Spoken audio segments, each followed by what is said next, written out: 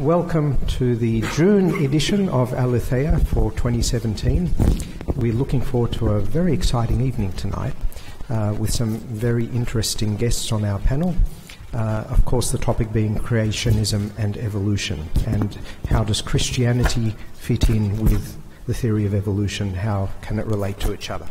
So, we're going to be starting today with a brief introduction by one of our Aletheia team, who is Ragai, uh, who'll be introducing some of the issues that we'll be talking about today, and then we'll move to the panel part of the night, which will be most of the night. So, without further ado, I'll hand you over to the capable hands of Ragai. Thank you.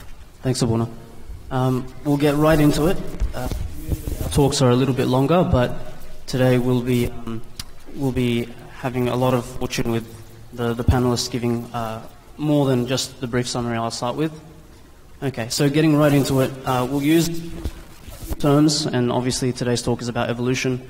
So using um, the, the succinct def- definition from the Oxford Dictionary, evolution is the process by which different kinds of living organisms are believed to have developed from earlier forms during the history of the Earth uh, or also evolution is used in other terms to mean uh, progression, gradual development of something into another thing. We'll also be using uh, other terms like natural selection. Uh, so this is a more specific form of uh, describing evolution, which was founded by Carl Darwin. Um,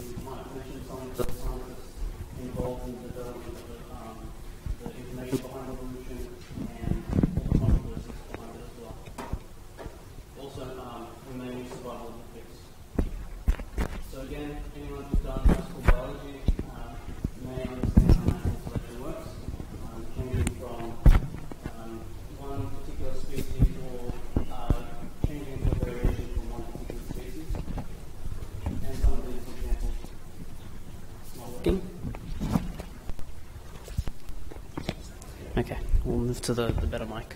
Um, so, for example, Darwin's finches and also the peppered moth are variations of one particular thing into another thing. Um, so, where does evolution fit into this? We're going to obviously talk about how DNA is the, the core component that takes these traits and passes them on. Um, and also, we'll probably be talking about uh, how there are traits which are locked in known as the genotype, so what's already sort of set in the DNA, but is also what is going to be expressed physically uh, into that offspring. Again, part of our discussion will involve talking about macroevolution or um, some of the more controversial topics of one species becoming another, or also the gradual, de- gradual development uh, from multiple species across a period of time and less controversial things like artificial selection, which is something that we um, see in everyday sort of practice or life, um, such as the breeding of dogs. So, to quote Charles Darwin, a fair result gained only by fully stating and balancing the facts and arguments on both sides of each equation. Uh, I think that's a very fair assessment of what we want to try and achieve today, uh, and we do have a few views which uh, they'll obviously discuss before we get into the panel of questions. And also, we'll try and be a little bit light-hearted about this. Um, sometimes some views are unequal, sometimes views are just equal but from different perspectives. Um, so, again, let's just uh, be jovial with each other um, and have a very enjoyable night some of the different perspectives that might be discussed today. Um, I'll only summarize very quickly three things. Uh, one, which we call for today atheistic evolution, or evolution without a supernatural or divine influence. Uh, the explanation, very, very simply, is that the world and everything that exists in it can be explained uh, through natural uh, processes which science can help. There we go. Um, another perspective we might talk about today is theistic evolution, uh, which can branch out into many different forms, but basically it's creation and evolution, which does require or um, has been shown to have a divine or supernatural influence. Uh, and sometimes some of these different perspectives are more specific, such as young earth creationism, uh, where there is a divine influence um, and it's undergone a very quick transformation from the beginning of the earth until now in a very limited or literal understanding of the Bible. And that's basically it. So uh, I'll get back to Abuna and um, we'll try and introduce the speakers. Thank you very much, Sergei. Um, so that sets us up nicely. And by the way, before we proceed, I know that toilet paper um, cartoon was meant to represent sort of something on which there can be different opinions, but I disagree completely. I think there is only one opinion on that. The leaves need to be on the outside. And I'm sorry, but anyone who disagrees is just wrong. Um, all right, so today we have some lovely panelists with us. Um, before I introduce them, I would just like to note, because I know that some of you uh, may not have been to Aletheia before, this is an unusual kind of group in that we're not going to be giving you nice black and white answers so you can leave at the end of the night and say, oh, I know what, all about evolution. What we're going to be doing is trying to pick the brains of our brain trust over here to try and develop a better understanding of the issues that are involved, to give you a better grasp so that you can think about it for yourself and come to your conclusions uh, about what you think works and what you think doesn't work. So, our rule in these meetings is that you can say anything you like, nothing is off limits, so long as you are courteous. And I will be reminding you of that when we get to the second half of the night, where we'll be inviting questions from the audience. Uh, and our panelists, of course, are all very courteous gentlemen. Uh, we have with us, first to my left, Professor Michael Archer, AM. Um, many, many letters after his name, many of which begin with F, including the Fellow of the Australian Academy of Science and a Distinguished Fellow of the Royal Society of New South Wales. Um, he has been Professor at the School of Biological and Earth and Environmental Sciences at the University of New South Wales since 1978. That's quite a while. Um, he's the head of the VIP research program in the Pangea Research Centre. He was curator of mammals at the Queensland Museum from 1972 to 1978, director of the Australian Museum from 1999 to 2003, dean of science at the University of New South Wales from 2004 to 2009. He has way too many books, publications, awards, TED Talks, etc., to mention tonight, but you can find him on the UNSW website if you're interested in uh, reading some of his work. And he's hard at work at the De Extincting Australia's Extinct Gastric Brooding Frog project. So he's working on this wonderful idea of trying to bring back extinct animals um, using, I believe, like by, by reconstructing their DNA and therefore bringing them back into the world, which would be such a wonderful thing. We look forward to the day. I believe one of the projects has been the Tasmanian tiger, who's been gone for, well, since the early 20th century. And um, he has engaged in many debates with creationists over the years, including where we found him in a chapter in a book called Confronting Creationism. And he's been kind enough to join us today, and we welcome him and are very happy to have you with us. Thank you.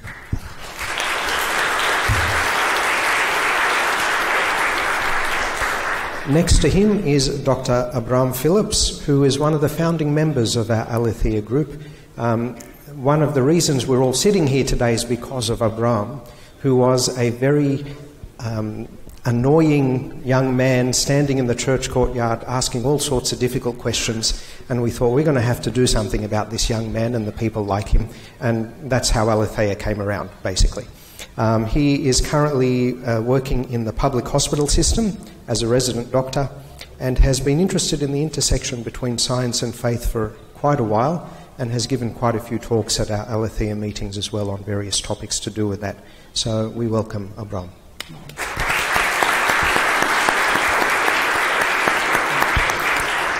And last but not least, by any means, uh, Father Doru Costache, I hope I pronounced that pro- properly, uh, who is a Doctor of Theology uh, from the University of Bucharest and has lectured at the University of Bucharest and at St Andrew's Greek Orthodox Theological College here in Sydney.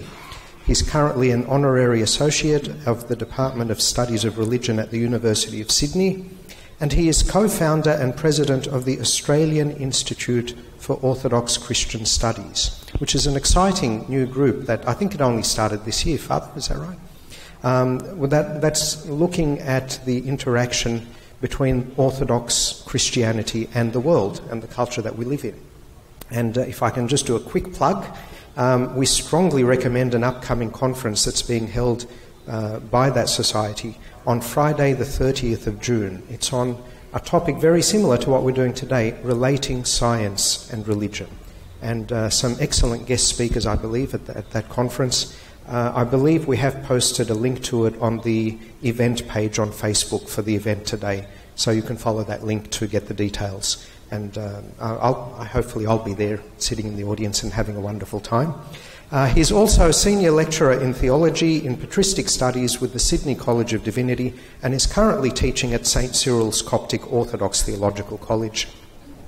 Uh, and has a long standing interest in the Orthodox Christian interpretation of the first three chapters of Genesis. And we thank Father Doru for coming and joining us this evening.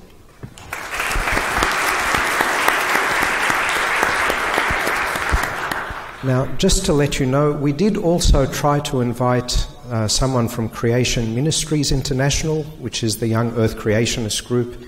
Unfortunately, they were not able to provide anyone to join us today, so we'll have to do without them. So, we're going to begin today by giving each of the panelists just uh, a, a few minutes to summarize for us their view or their approach to the theory of evolution. And we're going to start with Professor Archer. Thank you, Antonios. Can we uh, get that going? Terrific. Um, I'm going to risk damaging you all. I, you know, I, I can't help saying I love these kinds of topics and these discussions, but often there's a polarized viewpoint which separates the science from the theology. And as we'll hear tonight, I think that this is not necessarily a healthy or appropriate separation. But I'm going to tackle another one very briefly at the moment, and it's the whole idea about death. I'm busy teaching my first year students to try to understand the unity of life. And in understanding what I'm communicating to, that, to them is that there has only ever been on planet Earth one organism.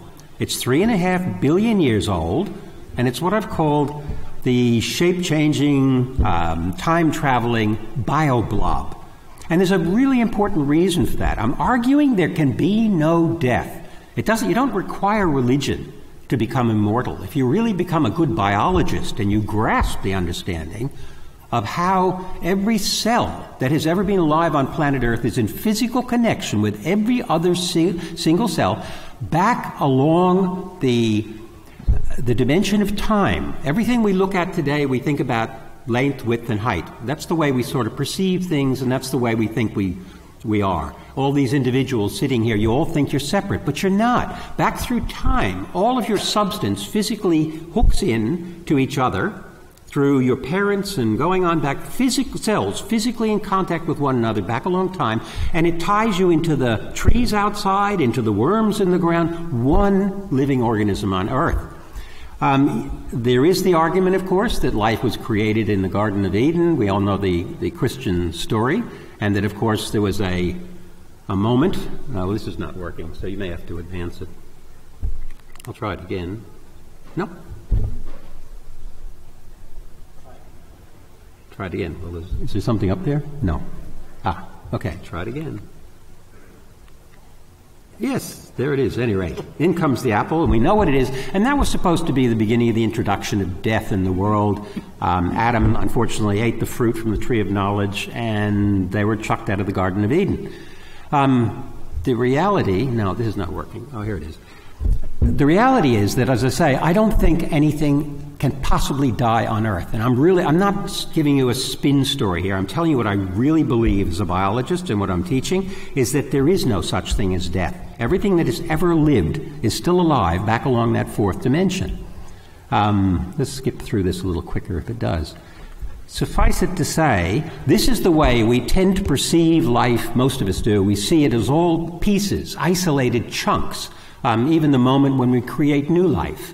Um, all of this is isolated bits, and in the reality, it's not. It's all physically connected. It's all tied together, but it requires you to see everything in the four dimensions in which it all exists length, width, height, and time. And if we could perceive that dimension, we would see the single, the unity of life.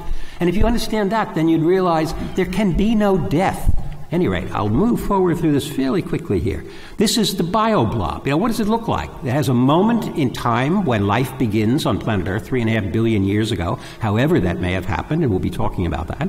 And then that symbol organism starts diversifying through time and space, responding to different challenges, becoming differently shaped in its various extremities. Um, but within that organism, there can be no death. Death is an illusion of limited vision. Uh, here's another way of looking at it, starting at the bottom. You have the beginning of life, and then life branches through time like a gigantic four dimensional amoeba.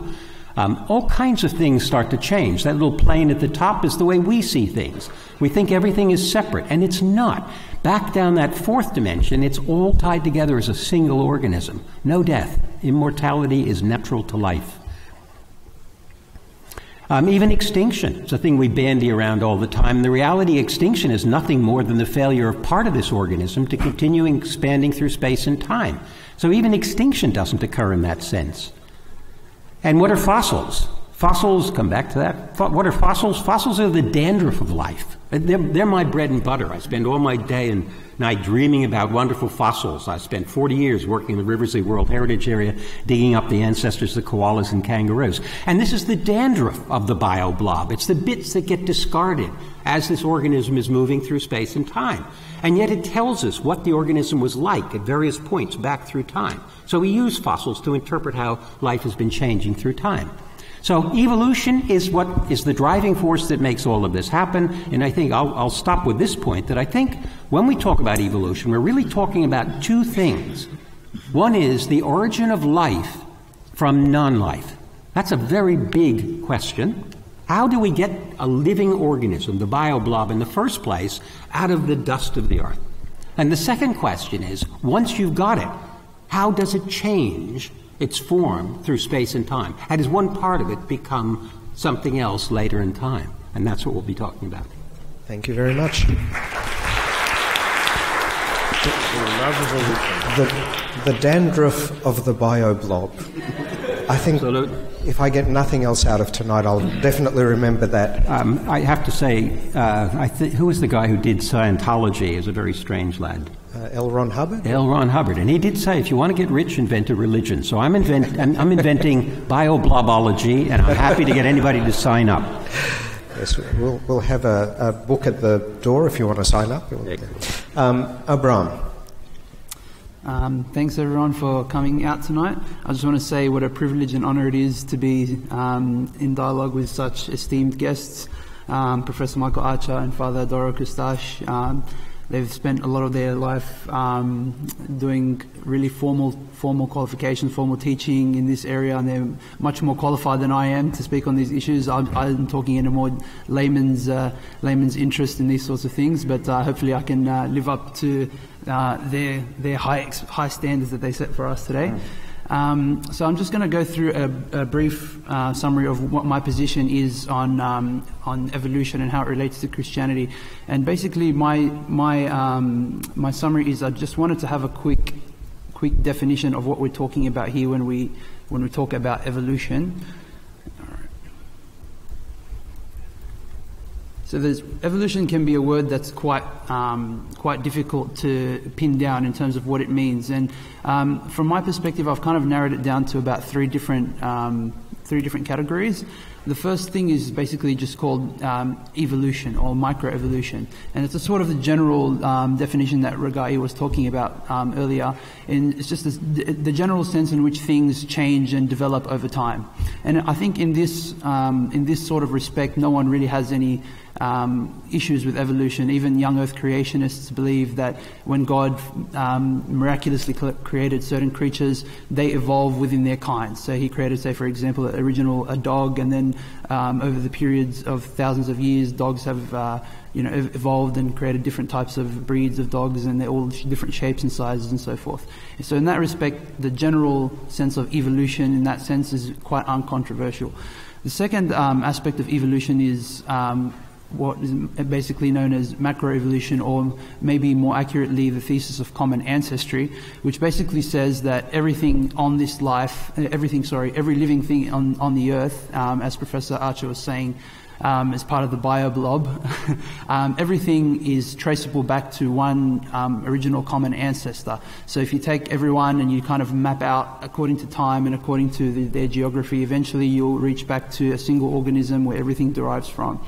Um, and even in this sort of, even in this, this is the, the, the part where a lot of young Earth creationists and um, even old Earth creationists begin to part company with um, with uh, with uh, other theorists, basically, and they say that. Um, God actually miraculously created things along the way that they were not actually um, coming from each other. They haven't physically evolved one aspect to another. They were miraculously created along certain parts of the way.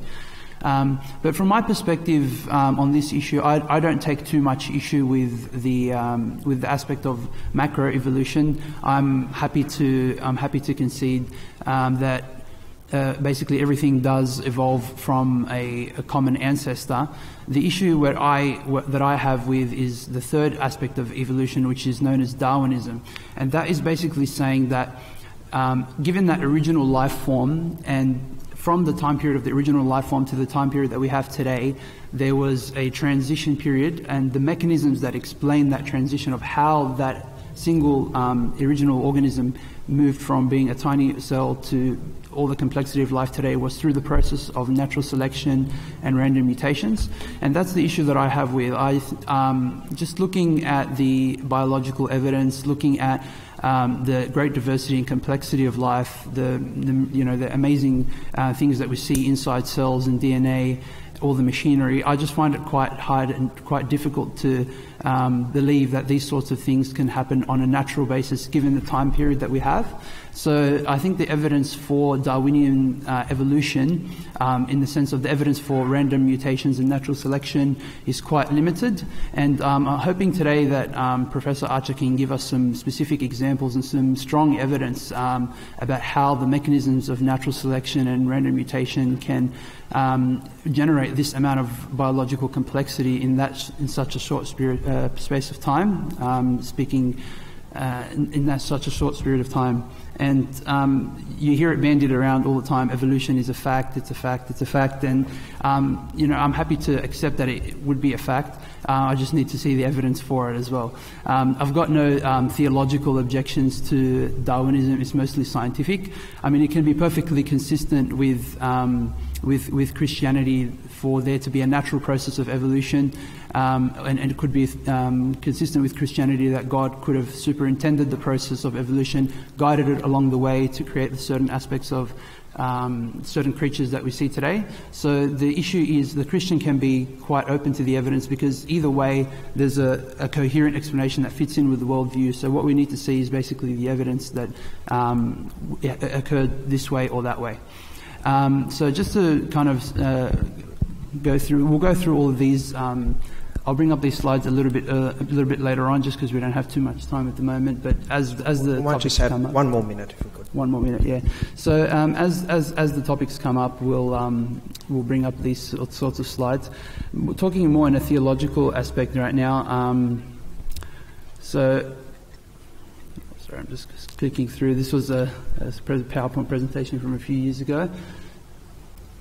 So the Christian um, interpretation of Genesis obviously becomes quite quite important in this aspect because we are talking about the interrelationship between Christianity and and, and um, Christianity and evolution. And so, from my perspective, I, I interpret um, I interpret the uh, early Genesis um, as as a type of um, metaphorical slash historical approach. There are some historical aspects to the narrative as well, but um, it shouldn't be pressed to for literality in terms of the sequence of events or to press it down for a time period of events. And I've got a lot of reasons for thinking that, and um, they're all listed in the presentation, and we can discuss that um, as the questions come through um, throughout the night and in, in, the discussion between the panelists. But um, I'm enjoying, I'm going to enjoy this uh, conversation tonight, and hopefully you guys enjoy it as well. Thank you, De- definitely the question of how the Genesis account of creation fits in with modern theories is a question we want to come back to. But before we do that, um, we'll go over to uh, Father Doru um, for his point of view.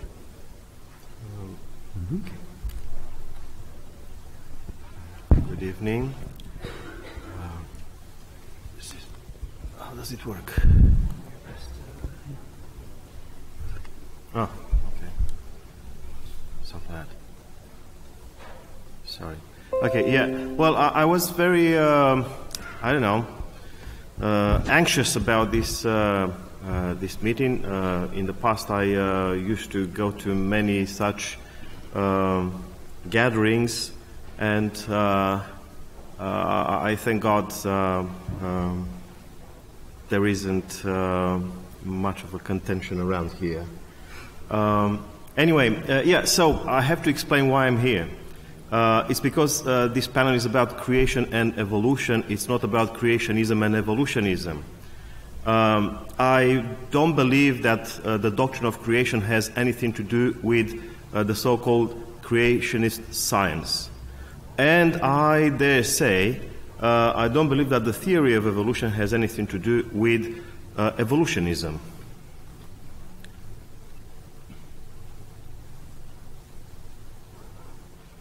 Anyone? Oh, I'm not sure I did. Someone else. Uh, let me explain. The doctrine of creation, uh, which is uh, one of the fundamentals of, uh, of the Christian faith, um, is a theological representation of reality. In other words, it looks at things from the viewpoint of God and the most characteristic question for uh, the doctrine of creation is who? And since uh, we have been uh, heard uh, already about uh, uh, the book of Genesis, um, I remind you of the first line in Genesis, which is about God and about what God did, not about how God did things. This is why I personally uh, believe that as a Christian I don't need creationism at all, uh, which is a kind of uh, scientific or pseudo-scientific uh, form of uh, explaining reality. Um, because uh, perhaps you, if you look at my slide, it answers to the same question, how, which is also posed by evolutionism. Uh, the difference between creationism and evolutionism is the fact that they give very different answers to uh, the same question, how? And uh, those different answers uh, derive from their very uh, different ideological backgrounds. for a theologian, this is a very simple story, um, actually, um, because supernaturalism and naturalism uh, are, at least in the Orthodox tradition, uh, two pseudomorphoses. May I use this word? Uh, in other words, errors. There have, uh, have been uh, many disputes in the Middle Ages, particularly in the West, uh, opposing naturalists and supernaturalists. I don't know how this very Western medieval topic crept into the Orthodox tradition so that we uh, find ourselves from time to time, these days particularly, uh, upholding one or the other of the two Western ideologies. Um, so, uh, creationism and evolutionism are ideological standpoints. They don't have anything to do with faith or non faith. Politics, if you like. Um, on the other hand, evolution, the theory of evolution, uh, is a scientific description of reality. For instance, uh, whether or not um, there is such a thing as the bio blob, yeah, uh, that's something that the science uh, has to grapple with. But uh, I'm free of this kind of concern as a Christian. At least that's my interpretation, my understanding of things. Um, so, is there any way in which creationism and evolutionism uh, be breached, uh, can be breached? Uh, I don't think so. Uh, I repeat, these are two very different ideological standpoints, uh, and if anyone has to uh, sort out things in relation to these two ideologies, one naturalist and the other one supernaturalist, one should dig up seriously the cultural layers of uh, the Western Middle Ages. Could creation and evolution be bridged? I believe they can. And let me explain.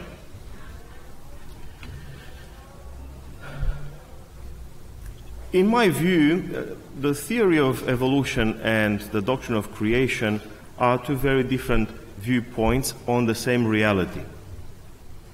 There's a theological viewpoint and there's the scientific viewpoint. And because uh, the theological viewpoint answers a different question from the scientific viewpoint, um, definitely uh, the two viewpoints will be different. Uh, but do different perceptions mean one should be erroneous and the other one um, uh, correct? Um, I'm a fan of transdisciplinarity, which is a very interesting philosophical construct of our uh, times. And in transdisciplinarity, uh, there's this idea of levels of reality and corresponding levels of perception. For instance, um, let's take biology. Um, that's a level of reality. You know? It cannot be reduced to uh, the anorganic, so to speak. Yeah? Um, and one like me, who is not a trained uh, biologist, has nothing to say about biology. And I have nothing to say about all those interesting questions that uh, uh, are threatening the horizon. Um,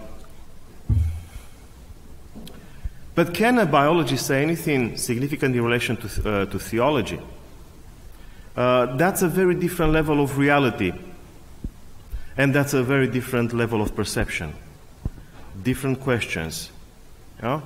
Uh, whether or not a biologist uh, acknowledges the who, that's a different story, but not a scientific uh, story. This is why, for instance, um, our uh, friend uh, Dawkins uh, cannot be right when he says there's evolution, therefore there's no God. Yeah? That's not science, that's ideology. Um, and let me exemplify this um, to. Just have one minute to go. One minute, oh my God. we'll, we'll, we'll, come back to a lot of these issues. Okay, okay.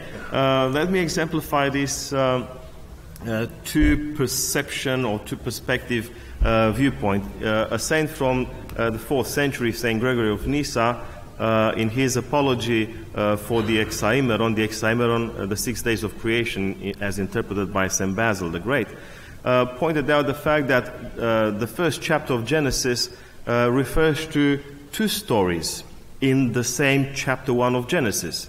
One is from the viewpoint of God, and it's summarized by the first verse when creation, or reality, if you like, created reality is one event, but that's the viewpoint of God.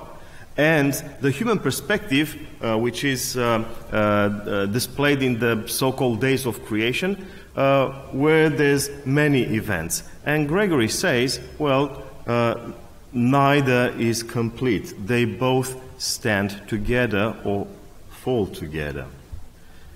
should I go for one more? There you go. Looks um, like a um, pretty picture. We'll make this the last one. That's actually my uh, whatever, my, my solution, which is um, Christian and doctrinal. Uh, what's uh, there in the, in the center? It's a representation, schematic representation of Christ. The mystery of Christ, according to um, uh, the Christian tradition, is complex. Uh, you see uh, the upper hemisphere, DH, that's divine human. Christ is God and a human being. Uh, what you see uh, at the bottom um, uh, with the two quarters, D and H, sep- separate, that's Christ's divinity and Christ's humanity. Um, in um, traditional Christology, in other words, the doctrine of Christ, although we can distinguish between his divinity and his humanity, and although in theory we can distinguish between his divine activity and his human activity, in reality, we don't know Christ according to a schema, we know Christ as a person. When we pray, we don't say, The divinity of Jesus, help me. We say, Lord Jesus Christ, Son of God, have mercy on me, a sinner. Yeah? Um, and in other words, when we refer to Christ, uh, we refer to that divine human uh, person who operates always divine humanly. In other words, in synergy. As I said, they're the principle of synergy. Well, for me, this is um, uh, the most uh, simple, basic, uh, faith based, if you like, uh, uh, wisdom that can lead us to understanding that there's no either creation or evolution. It's both. Why? Because creation is the viewpoint uh, of theology or the viewpoint of the faith, and it identifies the activity of God in the universe, whereas evolution is a naturalist uh, viewpoint uh, which explores, um, let's say, the natural or, or, cosmic energies at work in the universe. Um, a complete act of knowledge would, uh, I guess, uh, would uh, ask uh, for us to bring together these perspectives, but without synthesizing them, without confusing them. Lovely. Thank you very much. okay. So, um, if I can start by just asking a question about um, what you've just said, Father Doru, which is um, are, are you basically saying then that faith tells us that God created the universe, but then faith should not go further to try to tell us how he did it. Science tells us how the universe comes about, but it has nothing to say about whether God is behind it or not. Is that a fair summary of, yeah. of what yeah, you're that's, saying? that's pre- pretty much it, Father. Uh, and uh, uh, I, believe that uh, any scientist uh, that uh, has anything to say as a scientist about the who doesn't do science. So, yes, please. Yeah, I, have got to second that with grand enthusiasm. Um, and we do teach students that. Well, one of the one of the traps for students coming into science is somehow they think they're going to learn about truths of the universe. They're going to learn um, absolute laws and things like that. The reality is, science knows nothing about truths. Um, Popper, one of the grand philosophers of our time, said the distinction between the ideas that are the stuff of science and those that are any other kind of ideas, which could be theology or whatever, is that no idea in science can ever be proven. You can falsify it, you can show that the idea that you're putting forward is wrong, but you can never say you've proved something. It always stays vulnerable. Every single thing that is put up in science is vulnerable to testing forever. Um, in the case of the, which, which I guess is where we come to the same point, that it's, it's a different universe of ideas, a way of thinking, whereas in theology you get revealed truths. And you can accept the truths because they're revealed in, in a holy text or whatever, or your own faith. So truths are part of theology, they are not part of science. And I agree with you completely. Any scientist who says that they have somehow scientifically proven that God doesn't exist should be summarily run out of the universities, put up against a wall, and smacked with a wet cucumber. Because science can have nothing to say about the existence or non existence of gods. I think all we can say is that in our understanding of the processes, the, the how, that um, life came into being or the how the university came into being. We don't see increasingly a need for a supernatural component in the how process. But that doesn't mean it wasn't there. It doesn't mean that it wasn't there in the beginning, in the theistic evolutionary model, um, that it was an inspiration or a, a process that was started by a God. Science can never have anything to say about that. So I think we're not in disagreement about that point yeah. at all. Uh, and uh, as a matter of fact, uh, one other hero of our times, Hawking, you know, the wheelchair mm. guy, tr- tried to, well, he, he's, he's a sweet man, actually. Uh, he, he tried at some point in, in his bestseller, uh, Short History of Time, uh, he, he, tried to uh, speak about God, and there's a lot of God in, in that book. Uh, but but uh, it's, a, it's a very limited God, or a God who, who, who has very limited options. Uh, everything that God could do in terms of his omnipotence, almightiness, um, well, happened before the Big Bang. Uh, there was nothing to do for this God afterwards, uh, which is actually uh, uh, a, a, a, viewpoint that, uh, again, is philosophically grounded. It has nothing to do with, with any science. Um, my, my solution, which, sorry, I, I, had to rush it a bit, although I don't speak too quickly. Um, my solution is, is actually of a mystical sort. Uh, what I try to say, just a second, what I try to say is the fact that uh, what you contemplate, for instance, uh, in science, what you contemplate uh, as uh, the phenomenon of evolution, uh, this uh, chain of life that is unbroken, I love the metaphor, um, can have more ingredients in the background than what, for instance, a scientist is equipped to recognize, to acknowledge. Sure. So, um, and that science has no business saying that that is impossible. All science does is deal with the physical, examinable, testable components of the world that it sees and can interact with. We cannot test the existence of God. So that will always remain as a viable option, and therefore um, they're not incompatible concepts. So before we go into the, the role of God, which I think we need to come back to, but before we do that, can we first dive a little bit into the mechanics of evolution and some of the scientific issues that Abraam was raising earlier? Because I think they're, they're, often one of the big obstacles to um, you know, understanding the point of view. We, we, seem to be getting a lot more agreement tonight than we were expecting, which is good in a way, which is not a bad thing. Um, but let's see if we can get some disagreement happening as well, just for fun. So, um, you know, Father Doru made the distinction between the how and the who. So let's just focus on the how for a minute. So, um, one, of the, one of the interpretations of the creation account in the book of Genesis is that God created different kinds, you know, capital K kinds of animals. So you had maybe the mammals and the fish and the birds, and that they, um, they, they can't, you can't move from the one to the other. And I think Abraam was raising earlier the problems that might be inherent in how that might happen. So I think that's something. Can we explore that for a little while? How do you go from um, an amoeba to a chimpanzee, for example? There seems to be a huge jump there. Can we shed any light on how that might happen? And I'm sure Abraam maybe has some objections that he might want to raise. Let's, let's dive into that for a little while. Do you want to start with the objections? I think I think you should put the case forward first, and then we can do it. I will. I had. It was my great privilege, actually, to be involved in my first evolution creation debate with uh, somebody you may have heard of, Duane T. Gish, Dr. Duane T. Gish, biochemist, PhD. Um, he's he's gone now. But he was regarded by the Americans, the creation science movement, to be the best spokesperson for the creationist point of view.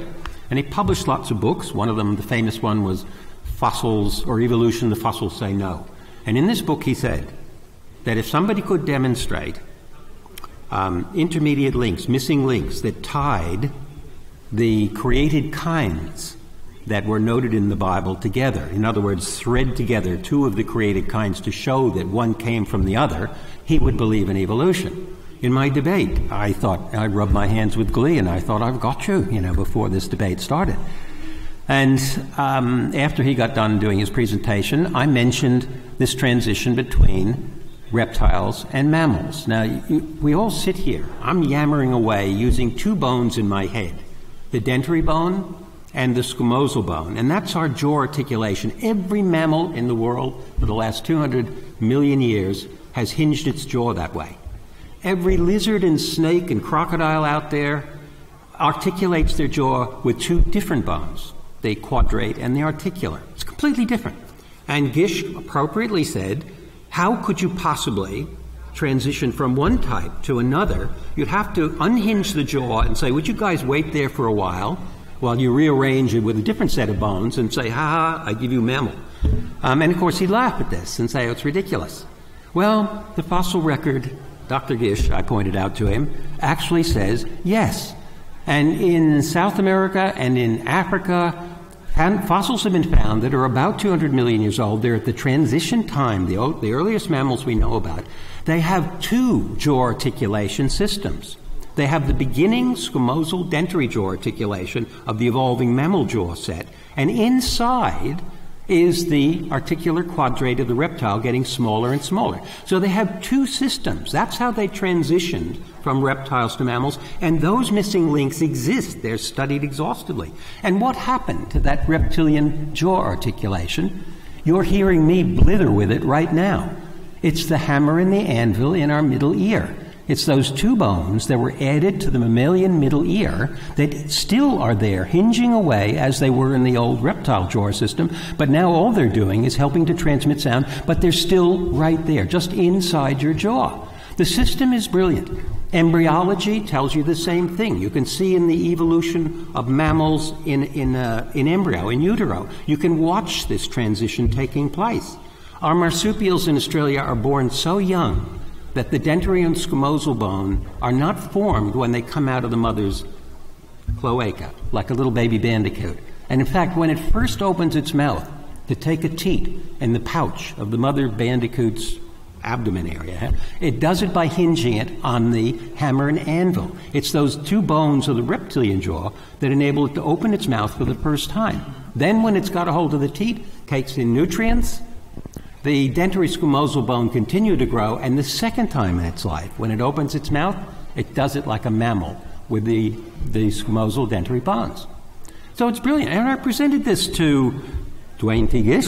And I said, you know, the South American animal is called Probainognathus. I gave him all the details. And I could see him madly, because we were both up on the stage, thumbing through his little box of cards. You know, how do I answer these crazy evolutionists when they come up with strange ideas? And he couldn't find a card for Probainognathus. And he said, I'll get back to you on that one. And then skipped off onto another topic. So. Did I win my point? I don't know. But we do have missing links between the created kinds, and they're coming up all the time in the fossil record. Well, we're not going to let Abraam skip away to something else. What would you like to respond? Um, so this is this is the problem that I have with um, discussing things with um, evolutionary like people that come to do, to approach evolution from an atheistic perspective. So from my understanding, Father asked the question of how um, things go from one to another, not the fact that things do move, uh, that you have evidence of things moving from one to another. So the question is the mechanism. It's not the fact that things did or didn't move from one to the other. I'm happy to say that there are these so called missing links and things progress from one thing to the other. The question is what's the mechanism behind that? Did there need to be intelligent um, actions to guide the genetic process, or could this have happened through naturalistic processes like um, Darwinianism, like random mutation and natural selection? And I think from our experience, um, basically all the evidence that we have is basically says that Darwinism, in terms of the, the, the, the processes of random mutation and natural selection, are quite limited in they can't produce new complex genetic systems, new processes, new proteins. There's been no studies that have shown that the um, just by using natural processes that there's an increase in surge of complexity, in surge of new information. Um, say, for example, the, one of the issues is one, one, one such example is um, the human war with malaria.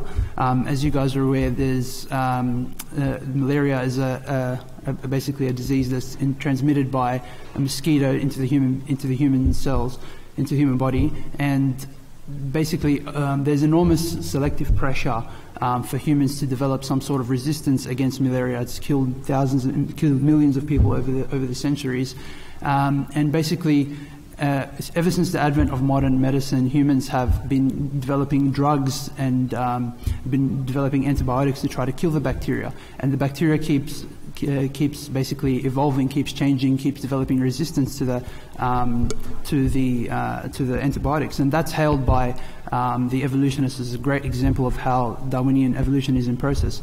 Um, and the reason that that is possible is because Darwinian ev- evolution is, can easily explain why there's single point mutations can occur that give um, the bacteria resistance.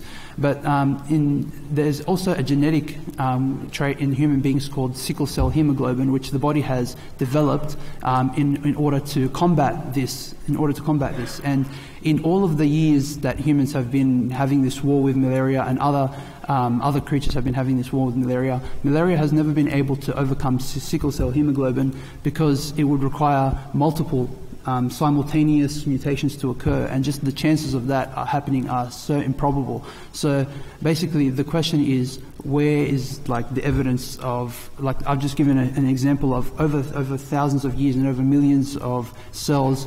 There's quite limited evidence to suggest that there's anything that can um, develop whole new functional systems, whole new proteins. I mean, we know how complicated the cell is um, basically, there's like proteins, which is basically machines, miniature machines. The, the, cell itself is like a miniature factory operating. And the question is, how can you get this miniature factory just by chance or just by random assorti- assorting of, um, of chemicals? The question is, where's the natural process um, coming to, uh, basically, where's the natural evidence for that?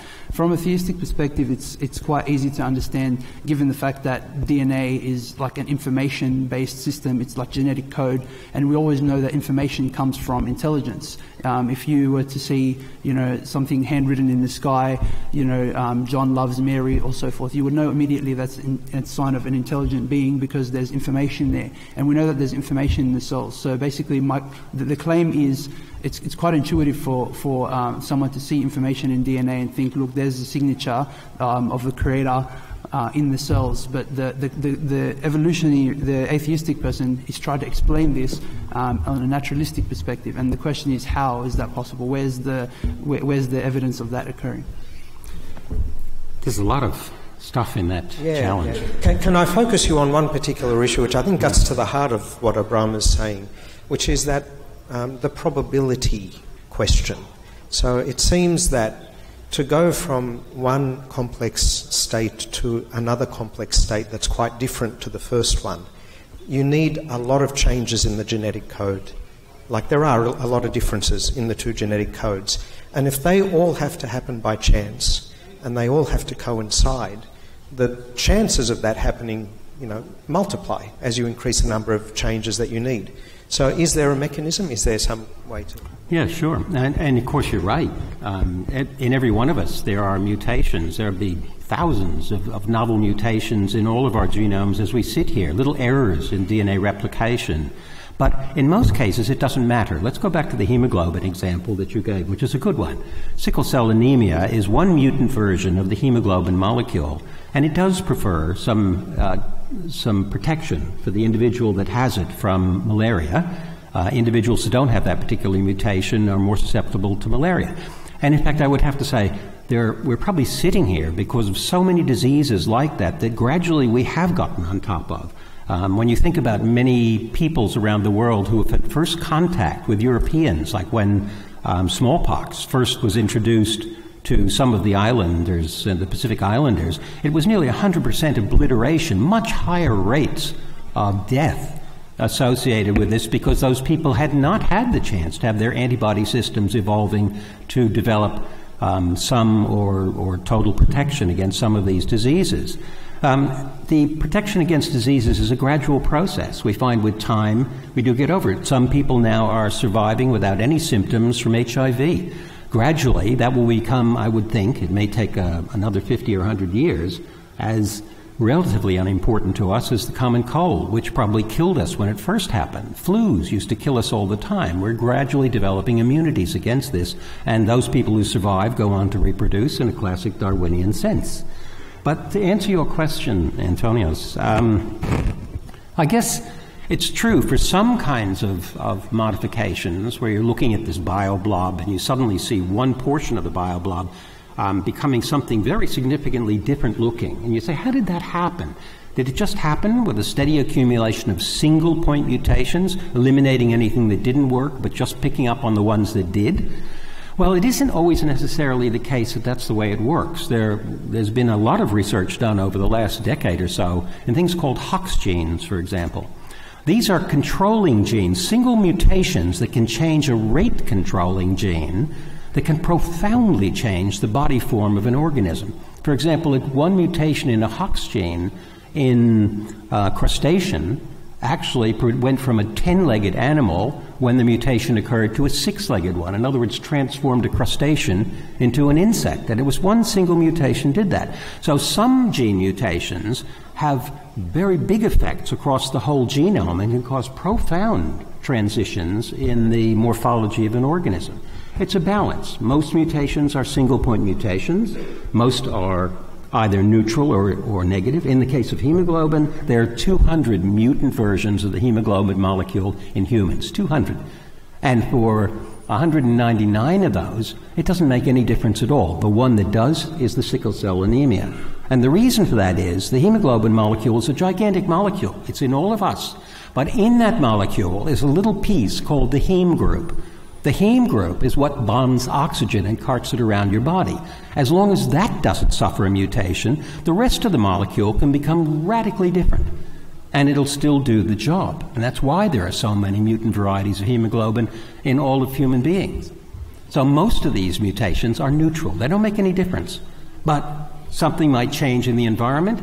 Some particular mutation might confer an advantage, like sickle cell anemia for malaria and suddenly that becomes the, the mutation of the day, celebrated by the organism that has it, and they go on produce more young.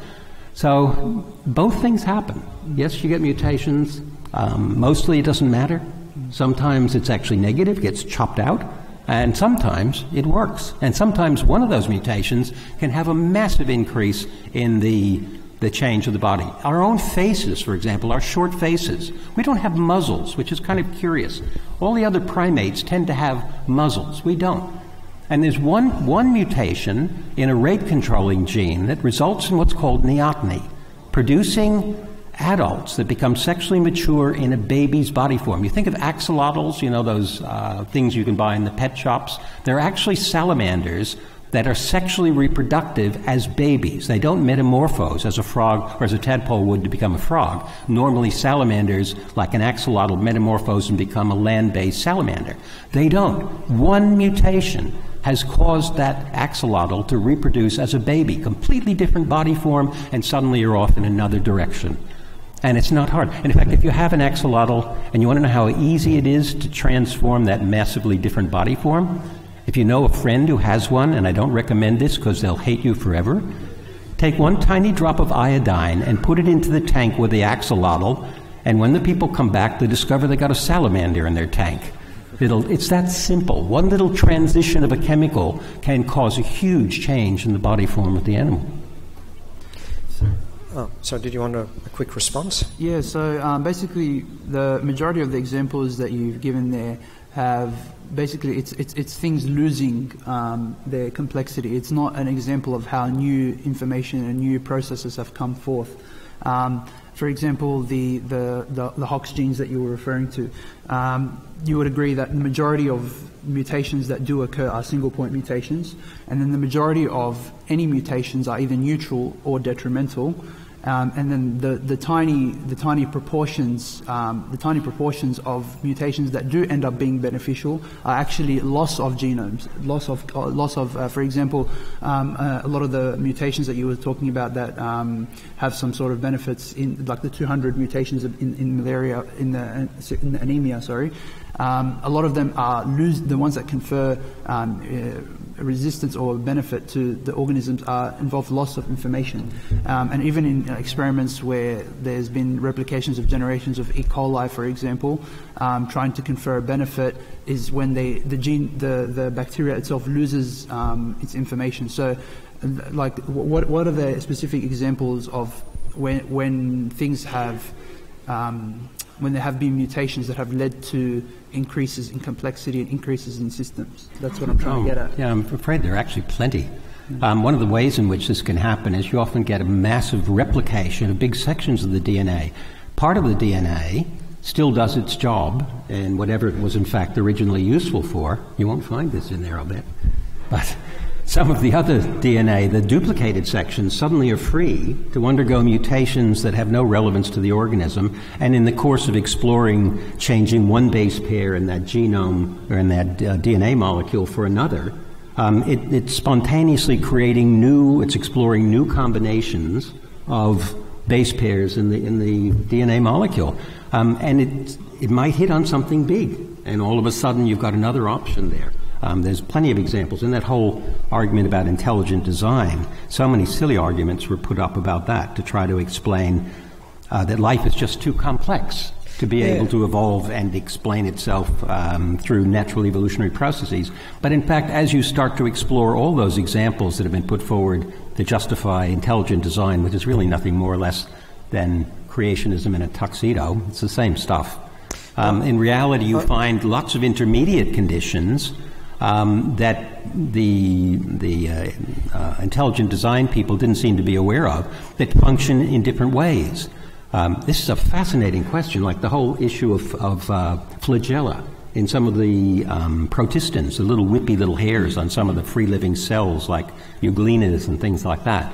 Um, everyone said that's so complex. How could that evolve? And then they found there are internal organs within some of those single cell organisms that have most of the structures of the flagellum, and they're used actually to shoot darts out to harpoon other kinds of organisms, microorganisms, under the microscope. Um, and that these have been co opted into the side of the body and they're mobile, and all of a sudden you've got a flagellum.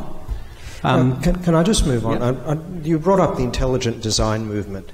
Uh, and I want to come back to something Father Doru was saying earlier about the distinction between um, sort of the science and the faith. So, in, the proponents of intelligent design, I think, see what they're doing as science.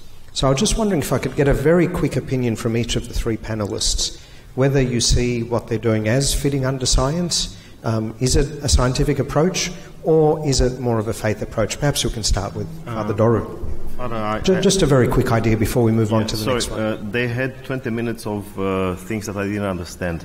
uh, so I'd rather want to go back to my slides, please, Facebook. Um, the next slide after my uh, schema so that you understand. Yeah, uh, the next one, please, so that we understand where I stand. Um, May have to use this. Yeah, it's fine. It, it's oh, look, I, I won't be going beyond this. Um, uh, the fact that you uh, laughed when I said what I said uh, uh shows that uh, you are in agreement with me. Um, fine lessons, but as I said, I, am not a biologist. And this is a conversation between two kinds of science science and creationism. So, so, you're saying that in, uh, intelligent design is a kind of science, not a kind of faith? No, no, I, I, I was uh, trying to bring a different perspective in relation to the first point. I'm not about intelligent anything. Yeah, so I, I try to summarize how I felt during the 20 minutes of uh, biological duel. Um, okay, I'm Christian. My faith has nothing to do with that conversation, which can be accurate or not. I have no way in which I can test the veracity, the accuracy of that kind of information. Nothing whatsoever. My biology classes in primary or whatever, whenever it happened, don't help. Okay? So, this is where you lost me, and actually, I, I, I have to say that I told Father Antonius that after seeing those questions that I didn't see why I have to be here, and I still don't see why. We have some more questions to come. Mm, oh, yeah. just a second. Just a second. Just a second. You had 20 minutes of duel. I just yeah? wanted to ask No, no, no. You had 20 minutes of duel. Yeah? Okay. Uh, I'm Christian. I look at things from the viewpoint of my faith. Yeah? The question is Is my faith affected by this kind of uh, controversy here? Biology this, biology that, genetic this, genetic that. Is my faith affected in any way? Well, mine isn't. That's what I try to say. And I'm a priest. Yeah? Uh, and what you see on the slide there is my actual answer. When uh, the priest offers to God in the liturgy, in the Eucharist, the gifts of the congregation, the bread and the wine, the, that's the line that the priest says, at least in my Eastern Orthodox tradition. Your own from your own we offer you, in every way and for everything. The priest offers to God this gift, this sacrifice, bread and wine. In that uh, bread and wine, there's everything life, the universe, everything. It's there recapitulated, summarized. That's my only concern as a Christian. What do I do with the things that are? I'm not concerned as to how things have come to be as they are. That's a scientific question. That's the what and that's the how. I'm not interested. And on this note, I have to apologize, but I'm not a biologist. I cannot be part of the panel. I'll be uh, sitting next to my wife, um, yeah. and uh, for as long as, as I can endure, uh, I'll uh, endure. But please forgive me. I, I, yeah. I cannot uh, uh, participate anymore. That's right. We went through, that was the technical part of the night. Now oh. we're moving on to the, some other issues. Uh, and, and, I want to, going on um, from what you're asking, um, you, it's a lovely way to put it, Father. I, I love the way that you're describing it. Um, but I want to ask a few specifics. I'm going to really get down to the nitty gritty of it. Do you feel that it makes any difference whether God just brings the universe into existence and leaves it to follow its natural course forever after that, or whether it's necessary to feel that God intervenes along the way. Um, as, as in, does, does, it make a difference? The previous slide. Okay, so it, when you it, it's it's an ongoing it's an ongoing synergy between divine energies and natural energies in the universe. What we call uh, natural evolution or the natural world uh, or, nature is actually far more complex from the viewpoint of my faith. But that's, of course, not something that I would impose on Professor Archer to say, well, uh, when I explain this or that phenomenon, and I love the, the jewel, um, uh, when I explain this or that phenomenon, I need the uh, divine hypothesis. I don't ask them to do that. But from my viewpoint, whatever they discuss here, there's always something else that it's not brought up. So, what is I'm the nature? What is yeah. the nature of the like? What is the nature of um, that synergy? What what? How can? Uh, let me put it this way: How can we tell the difference between a world that's working without God and a world that's working in synergy with God? Is but, there anything we could observe that would tell us we, the difference? We have no experience because uh, from the very beginning, from from our birth as individuals, but from the beginning of time, things have functioned in a way that only recently we have come to uh, analyze in terms of is it natural or is it supernatural. Uh, what we call either natural or supernatural is both, from the viewpoint of my faith. And that Christological uh, schematic shows precisely that, that the way in Christ Jesus we do not make any difference when we pray to Him. Uh, I don't say, I, I, refer to your divine nature, I refer to your human nature. I refer to the one person that is both. Well, that's my faith. And that's a schematic, if you like, yeah? That's a schematic that explains how, at least from my viewpoint, how things operate throughout the whole continuum of the universe, the blob and, and all that. All that is uh, permeated by divine energies. So there's no time in which there's no uh, synergetic, uh, whatever, uh, interaction between the divine and natural energies. That, that's my faith. So you're reminding me of something that I once read in C.S. Lewis, where he said we we look in the Gospel and we find the story of the five loaves and the two fish, and we consider that a miracle that he fed 5,000 people from just five loaves.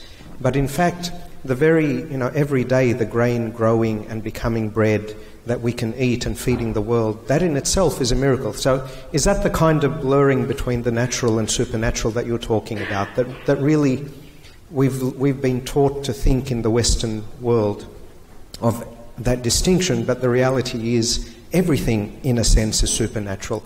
Everything that is natural is actually supernatural if God is behind it. Is that the kind of thing? Well, Or, is it, I- or are you thinking something I- I different would, there? I would rec- no, no, well, I would recommend that, uh, at least in the Orthodox tradition, we do away altogether with the categories of natural and supernatural. Yeah? Reality is complex. Reality is complexity. And uh, um, we only have uh, very uh, limited uh, ways in which we uh, peruse reality, in which we uh, grasp reality. And um, uh, the beauty of, of things, the way I see it, is to bring together that expertise and my faith. So you, so you do think that it, it is important to find a way in which you can integrate spirituality, theology, and the way and, and science. Yeah, but as I said, I'm a fan of transdisciplinarity where that integration doesn't require, for instance, Professor Archer to become a spiritual person uh, or, a, uh, or a believer. And it doesn't require uh, from me to become uh, a, uh biologist or a, a genetician or whatever that is called. Then, but then, in, in, in what sense is it coming at the truth? So Uh, in- in what, what sense truth? is- in since, what since sense the is sciences, is as according to Professor Archer, is the science, if the sciences don't deal with truth, you, you want to get to a dogmatic truth that isn't scientific. This is why, for instance, I cannot sympathize with your position. So, but my question is now: then, are you saying that there are no truths? What what are the tru- what what what is your What? position in that in, in, in that aspect? What you're saying Are you science can't asking bring me us from to the truth? viewpoint of your faith or your scientific expertise? It's it's a straightforward question. No, no, no, no, no, no. You're asking me as a Christian, a- as a believer, or you're asking me as a scientist? I'm asking you as a, a person, Father Doru Costache. Costache. sorry. Yeah, well, uh, I give you the same answer that I have given so far. Um, can I ask on one more question? Yeah, we, actually, we only have five more minutes in this section, and then we'll um, turn the microphone over to the audience to ask their questions. So I hope you're starting to think of some good questions uh, and getting them ready. Um, yes, go ahead. Bram, you're going to Oh, say something. to ask the Father. Ask Father. Yes, uh, yeah, say whatever. Um, from your understanding of Genesis, um, is it important to you about about the historicity or non-historicity of um, Adam and Eve, or not? So, say for example, Oh, yeah, I believe in the historicity of Adam and Eve, but uh, you'll, do, you'll not like uh, the clause that I uh, add. so we need to hear the clause. Yeah, well, Adam and Adam and Eve, Adam and Eve. Well, the story in Genesis chapter two and three is not about the beginning of humankind. It is uh, the beginning of God's people, and the entire Scripture, from uh, Genesis to the Book of Revelation, is about the history of God's people, not humankind or the aliens, Martians, and so on and so forth. That, that, of course, is quite different to the very literal reading of Genesis, which has become very popular in, Popular, in, that's the in word. the modern world. Yes. Can, can I ask, Father, as a patristic scholar, was that literal reading there in the ancient church? Or, and was it the prevalent reading, or were there different readings? Well, uh, it depends on what, uh, what kind of uh, patristic works. Patristic means, uh, that's my field, supposedly, uh, means dealing with uh, the, the writings of the church fathers and mothers of the ancient times.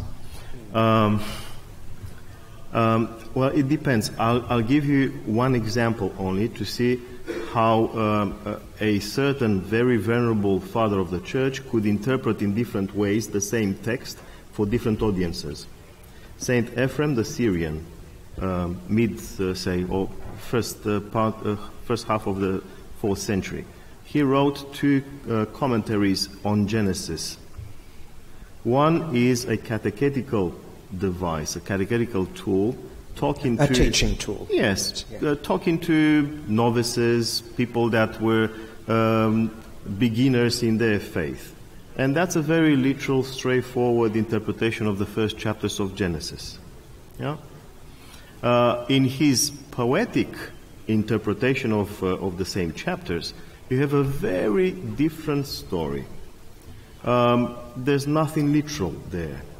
So, uh, same author, two different uh, uh, audiences, uses two different genres, Uh, where's the truth if we look for some absolute truth? And the truth is, of course, always out there. Yes, I, I would do the X Files theme, but I don't know how to hum very well. yeah. So, in other words, if we go back to the ancient church, I've heard it said that the kinds of questions that we're talking about today would, in some ways, not actually make sense to people in the ancient church. The kinds of questions about what is the truth in the, in the sense that we're thinking about it, um, you know, science in the modern sense that we're thinking about it. Would that have made sense to people 1500 years ago?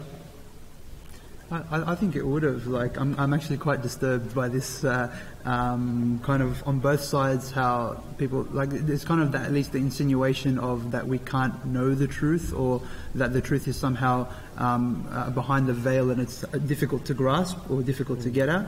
Um, you can, you, it's, it's difficult to say whether or not you can have 100% certainty about things, but you should, surely you can have some sort of reasonable certainty about, or you know, on a practical sense about what can be what can be known and what can't be known.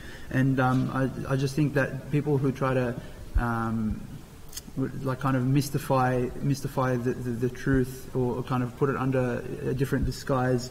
Uh, it's just it, it's a view that's kind of self self uh, self refuting, and it's difficult to. That's why I'm, I, I'm I'm not sure if I understand the view correctly or or what it is, but I'm just finding it difficult to grasp. Okay, uh, can I, Sorry. Yeah. Just, just very briefly. Yes, Have please. you ever read anything from the Church Fathers? Yeah. Any any page? Okay. Uh, I'm going to give you an example. Um, do you venerate St. Maximus the Confessor, or he's one of those from the other side?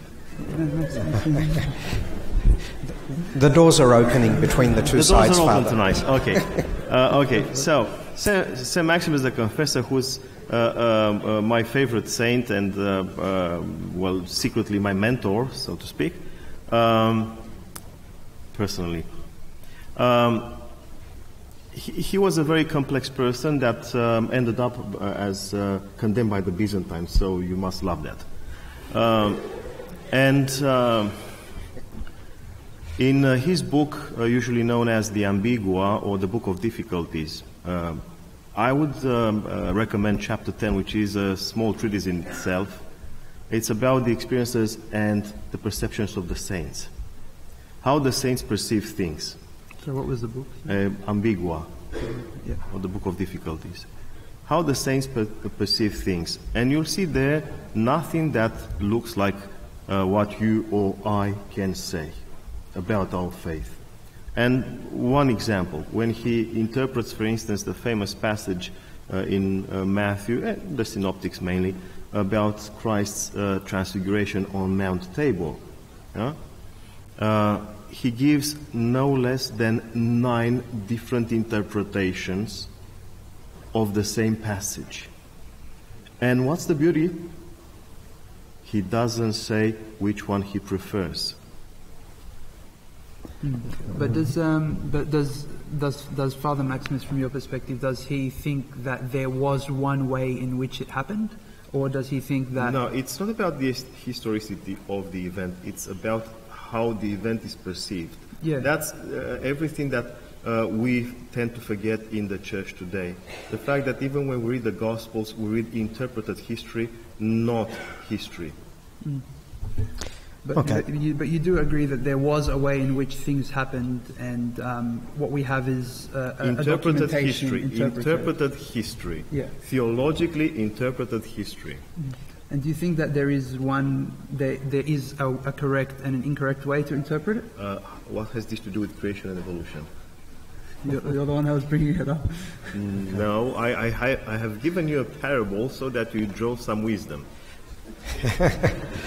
Okay, I, I think we're going to have to move into the next phase of the night.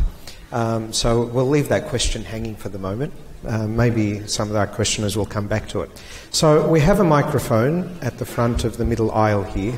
Um, just for the sake of order, if you have a question, you'll need to come up to the microphone. And um, please feel free to make a line behind Evan. Come, come up. So if you have a question, please come and stand behind him, and we'll take the questions one by one.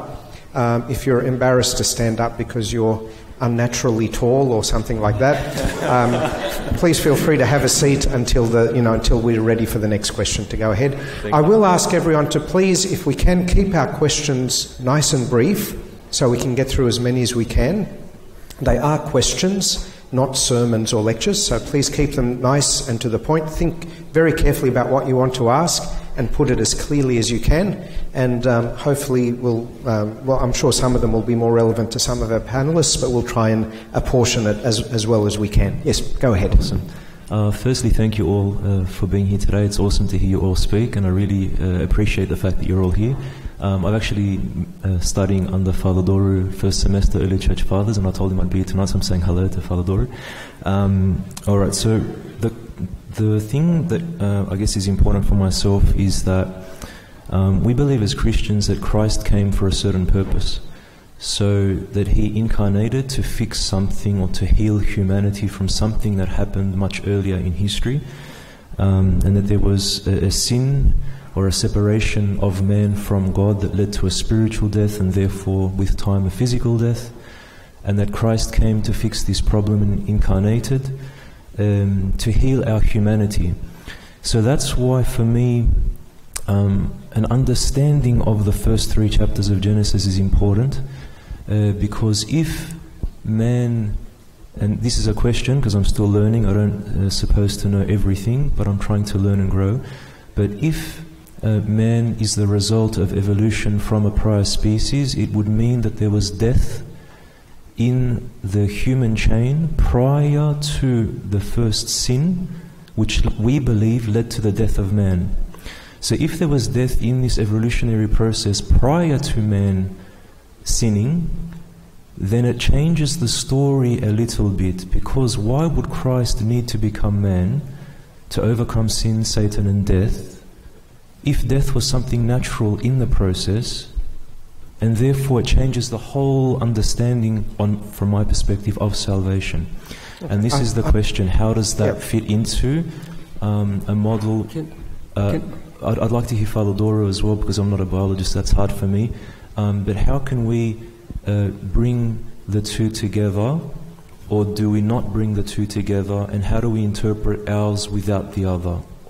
Can, I, can I just sneak a possible biological uh, moment in that?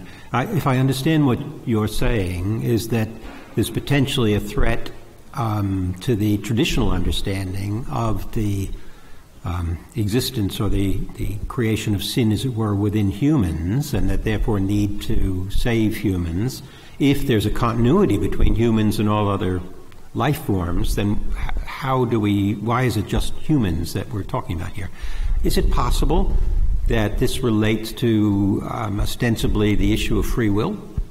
And that I, I think I've heard this argument that other animals are maybe driven by instinct and other issues, and, and humans, with a gigantic brain, which gets them in so much trouble all the time, are capable of making rational or irrational decisions and therefore rejecting, in a biblical sense, reject, rejecting the idea of God and committing sins, and that therefore maybe humans um, in this context would be singularly seen as subject to the ability to commit sins and therefore would be need to be um, resurrected or um, somehow cleaned of their sins, whereas other animals are acting naturally. Is this possibly one explanation uh, for that? N- not really. It can be maybe from one perspective, but from the Christian perspective, uh, death was the consequence of sin.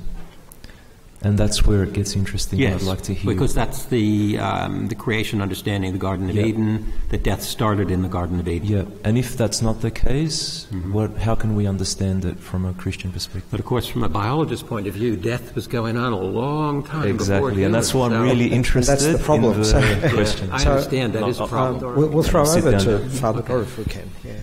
Maybe, maybe there's uh, other positions on that. Uh, as a matter of fact, uh, uh, our tradition isn't clear at all, contrary to um, the popular narrative.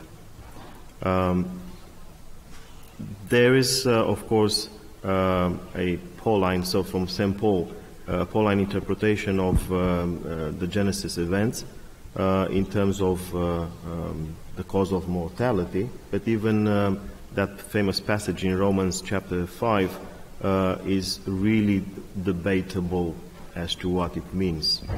Uh, so I won't be going there. But uh, the popular narrative is that um, uh, we have become mortal because we have sinned. Uh, and uh, the popular narrative goes like there was no death before um, that sin. Well, uh, as a matter of fact, I didn't expect Evan to ask this question. Uh, that was a conversation that we had uh, in private, but I see he's uh, very keen to make this public. We won't tell anyone. Okay, that, that's good. Since it's recorded, why not? Um, and, uh, well, I can give you one example uh, of a, f- a few, but one that I believe is very respectable here uh, Saint Athanasius the Great, uh, Archbishop of Alexandria in the fourth century, um, one of the greatest theologians ever. Uh, he believed that um, uh, everything that has a beginning of its existence has necessarily an end. In other words, by nature, all things created are mortal. Yeah? All things created are by nature mortal. Uh, if you want to check me uh, against the Gentiles, uh, chapter 41. That's a must in our conversation. All creation is mortal because it has a beginning of its existence. Then, Evan's question was actually very interesting. Uh, what do we make of Christ's salvation? Christ uh, has come to bring us salvation, redemption, healing, restoration, and finally resurrection, immortality. Well, uh, I return to St. Maximus, who is equally venerable for me, uh, who says that uh, what Christ has achieved in history is a modified version of the original divine plan. Uh, God's plan for the creation is to make the creation immortal. That's why I love the bio blob thing. Yeah. So God's plan for the creation is uh, for the creation to become immortal. Yeah? Um, but there's a problem. Uh, it has to do with our nature. Our nature is deficient, is weak. We have become uh, existent. We have uh, been brought into existence, and therefore there was a time when we were not.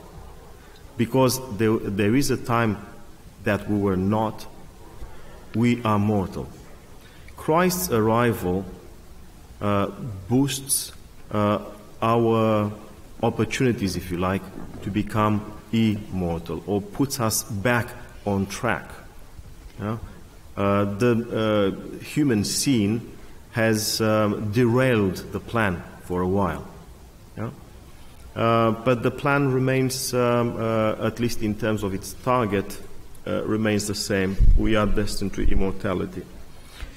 So, to be clear, Father, you're saying that it's not that there was a particular act by a particular person that made humanity mortal or capable of dying, but that that was inherent in the nature of humanity, but then that's because the plan for humanity wasn't perfected yet, wasn't completed, and that's what Christ came to do to complete it, basically. Yeah, somehow. But yeah. then you have to remember the fact uh, and that's uh, almost uh, uh, faith for me, almost. It's still a hypothesis, but almost faith. Uh, that uh, the Bible is about the history of God's people, not the, uh, the history of humankind. Right. And um, I read the, the, narrative of chapters 2 and 3 in Genesis from the viewpoint of the tradition of the saints who have recognized in Adam and Eve, or the paradisal events, something that is replicated throughout history in the experience of the saints. I have even written an article uh, on Adam's holiness, uh, where you'll be finding uh, two Alexandrians, uh, St. Athanasius and St. Cyril, uh, who read in the 4th and 5th century. Uh, they read Genesis 2 and 3 from the viewpoint of the experiences of the saints that they knew at the time. And the experience of Adam and Eve is the experience of any saint with ups and downs. Okay, I think we'll move on to the next question. We'll try and cover as many as we can. Yeah. Uh, so my name's Paul. I'll try to keep this brief. I'm studying medicine at the moment. Um, I thought that there was an issue with uh, creation, with the with the Bible and evolution as a young person, and then growing up, I realized that that was not the case, and I came to accept evolution. However, as my studies progress, I doubt evolution perhaps uh, uh more every day. Uh, I doubt its possibility, and so I have a few questions which I'll try to summarize. Uh, some scientific, some perhaps more theological. Um, does evolution actually meet the criteria for science? So you mentioned, uh, you mentioned Popper, professor, and uh, I, I, ask, is evolution falsifiable? Is it experimentally testable in any way, or is it pseudoscientific in the way that um, uh, sort of Freudianism is, in that you can always find a different alternative? And I guess I'll also add, uh, how does it explain the mind and qualia? And this is sort of more theological because I think, as a scientific theory, it doesn't explain how man is more than just a biological machine. How, how does man um, have what we might call the image of God or free will? I think these things are not perhaps well explained by evolution. Good questions. Um, and that is a really key question as to whether or not the, the model of evolution, there isn't actually a theory of evolution. This is an unfortunate term because a theory is that 5% of you will go away tonight and actually think seriously about some of what's been said. That's a theory. And we could technically test it by coming to your homes and asking you whether that happened. But evolution is actually a model, and there's thousands and thousands of theories that are involved in it. So we really have to think about it as a broader concept than this. But is it testable? And that's the key thing. Popper said if it's science, somehow you have to be able to test it. You have to actually technically be able to prove it's wrong in order to qualify as science. If you can't, then you're in a belief system. You know, you accept it on on its merits for what, what it is, but you don't expect to test it. So, can evolution be tested? In three ways it can. One, and it's fascinating, this stuff, and I think your intention was to talk about this a bit, but I guess we didn't quite get there, is the experiments have been done on prebiotic simulation stuff, where people have actually set up non organic materials in laboratory environments and then prodded them, poked them, shot them with a bit of electricity, and then just stood back and said, What happens? And these experiments are fascinating, and I'd suggest anybody who's interested in this go on to Wiki, um, look up abiogenesis.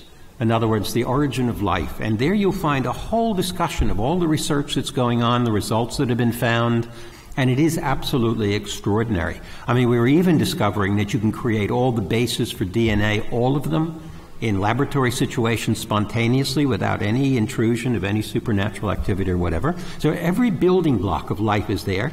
And because those organic molecules are what you'd call self aggregated. That is the attribute of organic molecules. As soon as you've got them, they tend to want to clump together and become bigger, more complex molecules. It's an inherent transcendent property of organic molecules. It's why there's so many big organic molecules all out in space. It's why the night sky is not lit up like the day sky with an infinite number of stars out there. The night sky should be as bright as the day. It's not because there's so much organic stuff out there blocking it.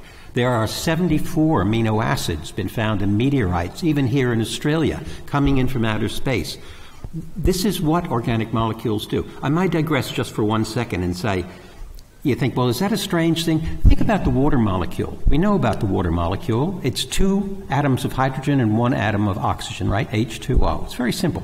Dihydrogen oxide, if you're trying to threaten a school teacher and try to. My daughter did this, you know. She went to the school teacher and she said, uh, We heard there's a rumor there's dihydrogen oxide in here and we want it banned. You know, oh, they got all excited about it. But you think about that molecule, it's so simple, and yet you drop it down from 10,000 meters up, and it comes down as the most intricately beautiful thing, a snowflake, with millions of different complex things. And these are emergent from that little molecule of water. It is what water does, it's, a, it's an attribute of water molecules. Life may be the snowflake of organic molecules. It probably had to happen. Once you have organic molecules, they start to accumulate. So the answer to your first question is yes, you can test it with, with pre-symbiotic um, simulation experiments. That doesn't prove that's what happened. But you can, this is what's being happen, been happening now, is we're showing that you can set up a situation where all the basic steps in construction of life, including all the building blocks, can be created instantly in a laboratory with no fanciness involved at all. Just heat and a little spark, like lightning. You the, mentioned can also be tested. There's three ways. The second way it can be tested is by living organisms. Are, do we see evolution occurring amongst living organisms? Do we see one species becoming another? And the answer is yes. There's so many examples of this that have been under observation, from chromosomal speciation to all kinds of things. And the third way, which is my favorite, is the fossil record. Does the fossil record actually show us a track record of this transformation of the bioblob, its various portions, into portions in, at younger time frames? Do we see the evidence that this actually happened? And that's what we, we do see. So these are not proofs, but they urge you to say the probability that this happened um, is high. And we see all the basic steps from, from simulation experiments to working with living organisms to working with the fossil record, the track record, the dandruff of life that's been left behind. And it all tends to say the same thing. The only question is really where did life start? Is it possible life even came from outer space, the panspermia idea, or did the simulation or the aggregation of the molecules transforming simple inorganics into organics happen on Earth? These are still active areas of research, but it's a very good question. Before we go on to the second question Paul asked, could I ask you just very briefly, could you imagine a piece of evidence that would actually falsify the evolutionary model? Well, I guess if the fossil record did not provide evidence of missing links between the hypothesized related kinds of, of organisms on Earth, um, that would keep me very skeptical. But I see these links continually turning up that are tying it all together. So, So if the- if I- when you think about when, when Darwin came up with his concept of evolution, there was almost nothing to support what he was saying other than the hypothetical understanding he had of what possibly was happening here. He didn't understand genetics. The fossil record was gruesome. The only sort of so called missing link that we had at the time was Archaeopteryx, a link between a reptile and a bird. He could, he could vaguely see that. That had only just happened when Darwin started to do that work. So since the 1830s, the 1850s, all of this new evidence has been coming along and is supporting basically what he said. The genetics suddenly provides a mechanism to rationalize what he thought must be happening. So Well, could, well, could it be disproved? If we'll move on to the second Yes. question, so the question of mind and consciousness. That seems Yes, to that, be that's a really good question, too. And, and as they say, the problem of mind is one of the hardest problems because here we are using our minds trying to understand this. And some people would even say that it's impossible for humans to understand how minds operate because we have to use our own brain to try to work that out. And, and this is kind of regarded as a conundrum. But gradually, we are discovering, as we understand how the minds of other organisms work, as you go back through the, um, the chain of being, as you were, if you like, that, that leads up to higher primates, to uh, the catarrhine primates, our group, um, we find increasingly, fascinatingly complex mental activities going on in other animals. It's not unique to humans. It may be a question of degree. Maybe we do more of it than some other organisms. But I look at my dog. I watch my dog working out problems when I haven't given it what it wants. I know it's problem solving and it's manipulating me. And, and we know from studies with chimpanzees and all kinds of other animals, even right down to octopuses, watching one octopus watch another octopus learn how to take the lid off a jar to get a, uh crab out, and then that second octopus, just watching, goes over to the same experimental situation, instantly goes to the jar, unscrews it, and grabs the crab. They're learning. They're using the same kind of cerebral activity that we do. It may only be a question of degree, not kind. I'm not sure. It's fascinating. Would either of the other panelists want to say anything on either of those two questions Uh, before well, we go uh, on? the, the thing with, because uh, Paul mentioned uh, uh, the image of God in us. Uh, that's a, uh, uh, one of those typical uh, things uh, where uh, we can or we should draw the line between uh, theology or the theological perception and the scientific perception. And uh, if you're into the church fathers, uh, Saint Gregory of Nyssa, whom I mentioned earlier, uh, in his uh, book uh, on the making of the human being, chapter 16, there he discusses this matter. And he, he draws a line between um, human nature, uh, which is uh, psychosomatic, again, complex, mental element, spiritual element, whatever, and the image of God. And he refuses to associate the reality that we usually call image of God with anything in the psychosomatic uh, nature of, of a human being. Um, We- I just- yeah, Would- sorry. Oh, sorry, yeah, sorry. Yeah. So just answering Paul's questions, I think I think yeah, it's it's fair to say that evolution is definitely a scientific theory in the sense that it can be um, there can be evidence for it and it can be disproved. Um, obviously, if the if the fossil record was in reverse order in terms of time time frames, or if there was random gaps um, or things seemed to be punctuated, then it wouldn't fit and wouldn't make sense. So I think it's fair to call it um, a, a, a, a scientific theory, which it is. Um, the other thing of um, I, have a lot of objections to what Professor Archer was saying about the um, about the origin of life. That's that's currently um, under investigation. There's there's no there's no evidence at the moment that there uh, abiogenesis um, is even possible uh, without any without any intervention from any intelligence. And a lot a few scientists are you know that's why they they're hypothesizing. They're basically using the origin of life as as a kind of a, a pointer to the, the fact that there might be intelligence somewhere in the, else in the universe that might have um, planted um, uh, life on Earth just because of how improbable it is and how its genetic information is needed. So it needs to be ordered in a correct way um, to get to a certain function, and that's why it's, it's an information. It's like if you found a book somewhere, you would automatically infer that there was some sort of intelligence that, that made it there. But if you found just a conglomeration of, of letters, you would think that it might be random. Um, and your, your second question as well about um, uh, how evolution ex- explaining mind, body. Um, I'm not sure if, um, fr- from a naturalistic perspective, um, it's, it's difficult to say whether uh, naturalists, most naturalists um, that, that I'm aware of are materialists in the sense that they say everything in the universe is physical, um, and so they kind of they reduce the, the mind down to the brain.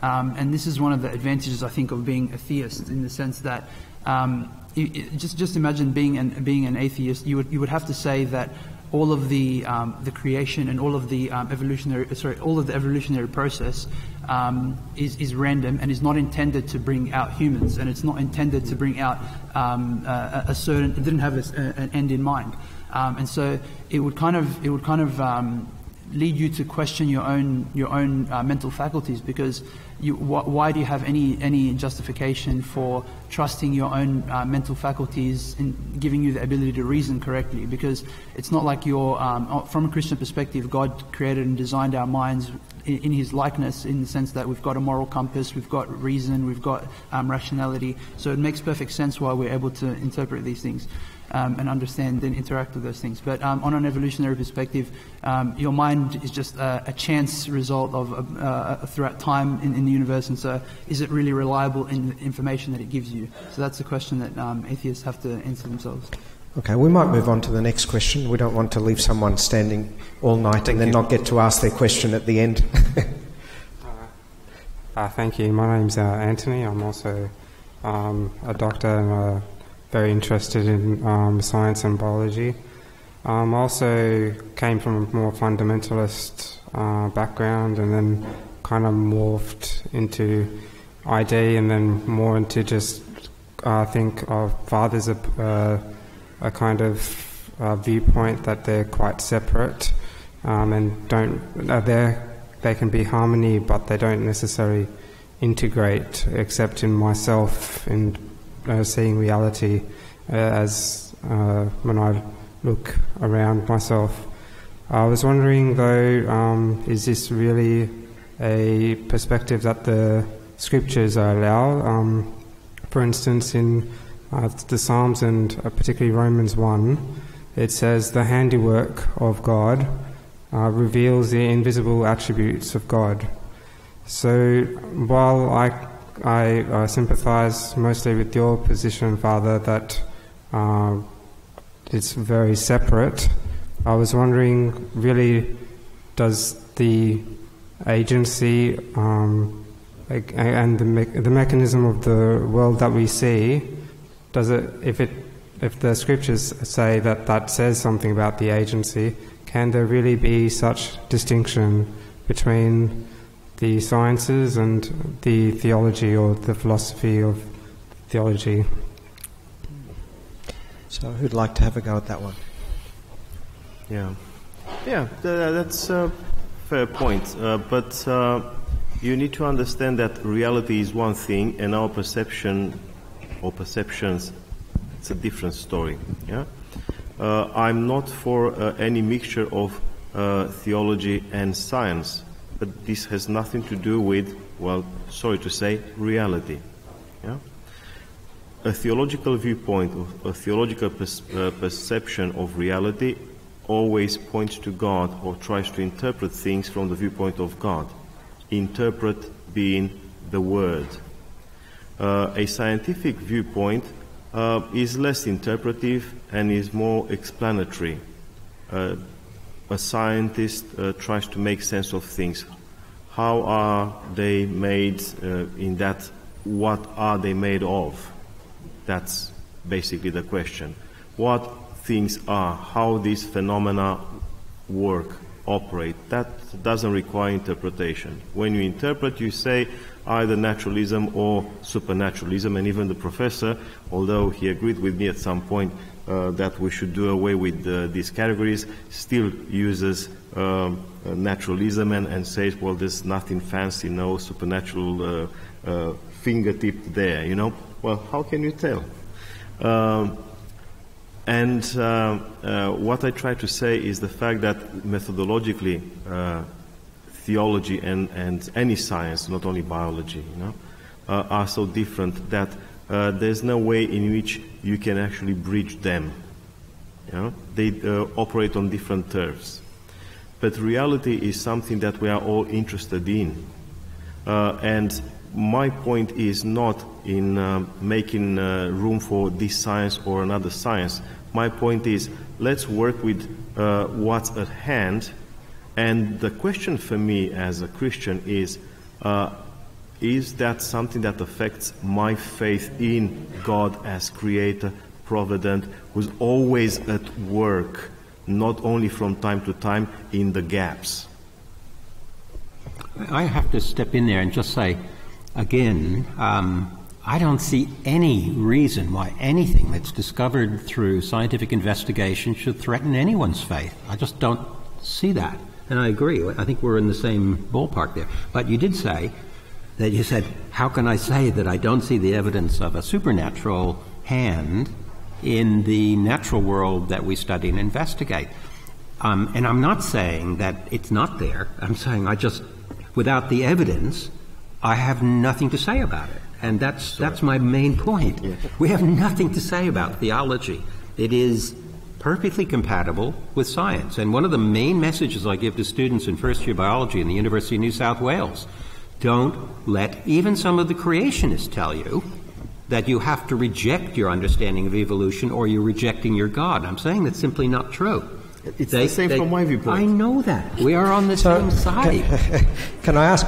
I'm tempted to finish the night we because we've agreed on something. but no. Um, can I ask? I mean, something I've noticed among many, uh, you know, um, atheistic, for want of a better word, scientists is the sense of awe and wonder at nature at the beauty of nature, at the complexity of it.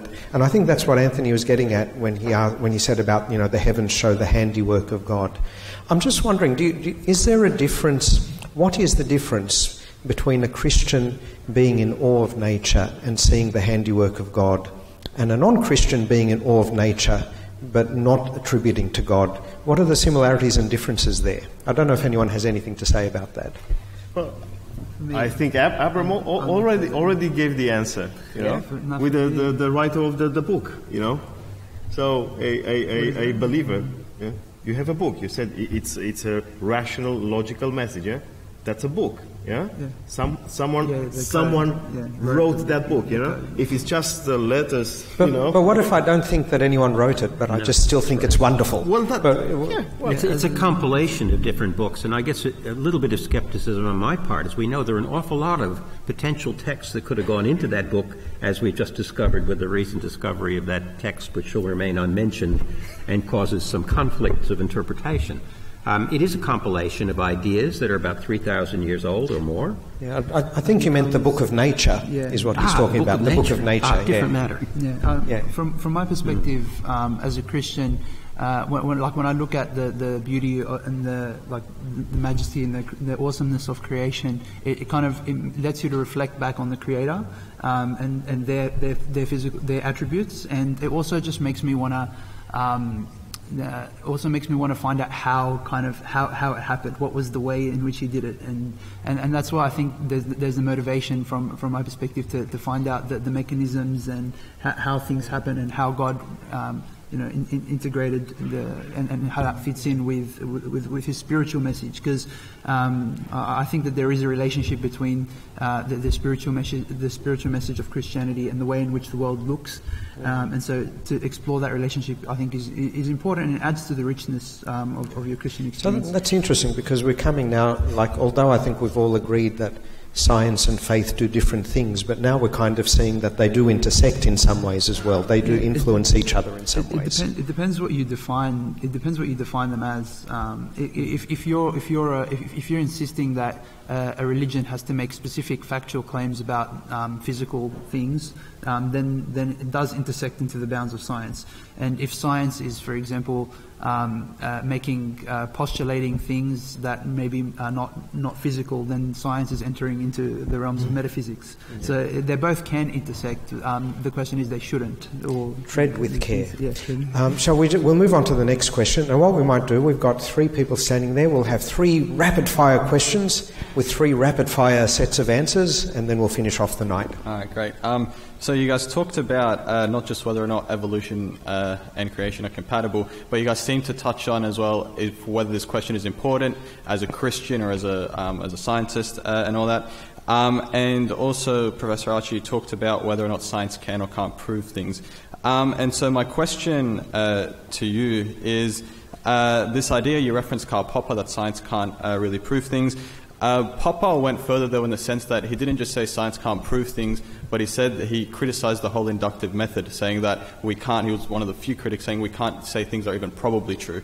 I'm not sure if um, you hold this view as well, but it did lead you to say that science has nothing to do with God. It can't prove God, it can't disprove God.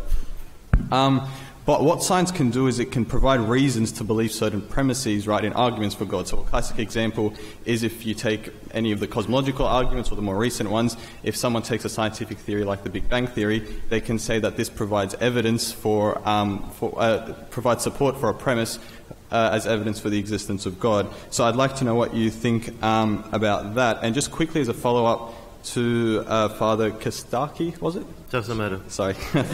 um, uh, I'm not sure if I understood uh, your, I'm not sure if I understood your position correctly, so I apologize if it's a bit of a misrepresentation. But it seems like um, it seems like it, it, was at least implied that much of this about the intersection between uh, creation and evolution it doesn't really matter to me uh, as an individual Christian.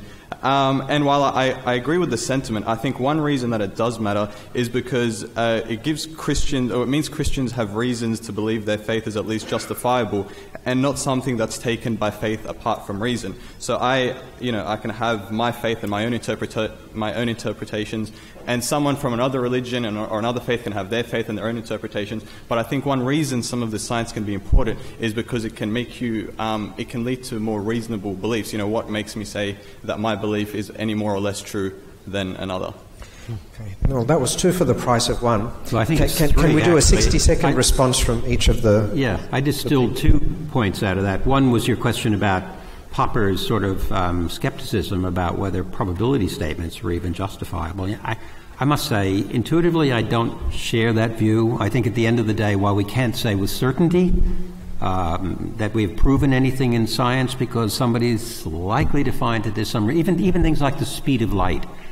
which we thought was an absolute constant that underpinned all the basic physics, the physical understanding of the universe. And one of our people in the University of New South Wales demonstrated, in fact, that there's been a tiny slowdown in the speed of light over a measurable period of time. So even that constant, which was supposed to be a truth, is suddenly wobbled a bit. But on the other hand, the probability is high. If I flip up a coin um, and said, what's the probability that it's going to come down again if I throw it up in the air? Everyone's going to say, well, you might as well make that a law because it is always going to come down. But we know the coin is made up of molecules, and the molecules only come down because they're all in random motion. Perversely, if all of those molecules just for one microsecond moved in the same direction, it might end up on the moon instantly. And because we know theoretically that could happen, we can't say it is a law or it's a truth that something will come down when we throw it up. So we keep everything fairly flexible. With that, I'm happy with Popper, but probability I think is important.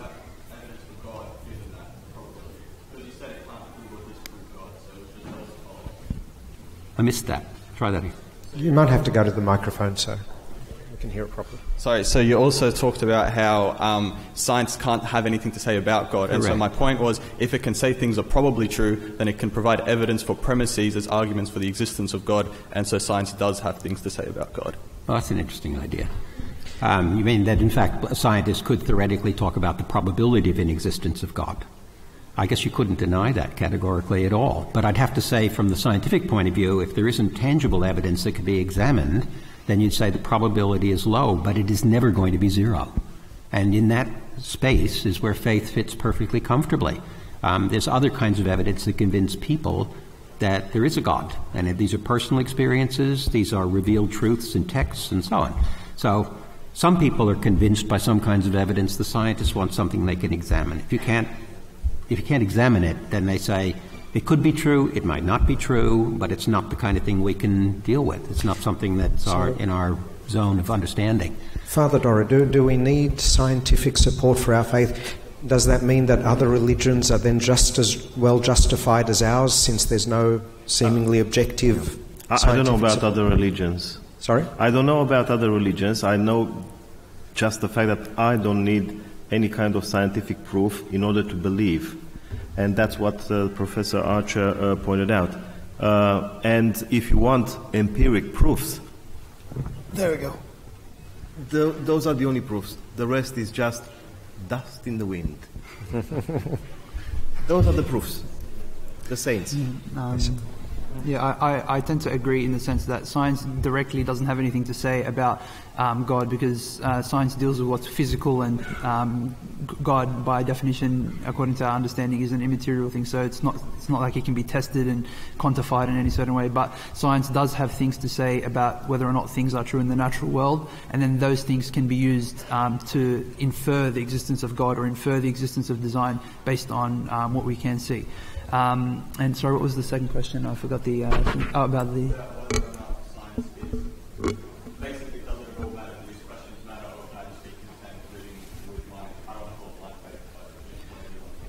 I think I think um, as an individual person, you can be content in living with your own faith um, based on the fact that you grasp God in an experiential way and you know that He's true based on your experience of Him.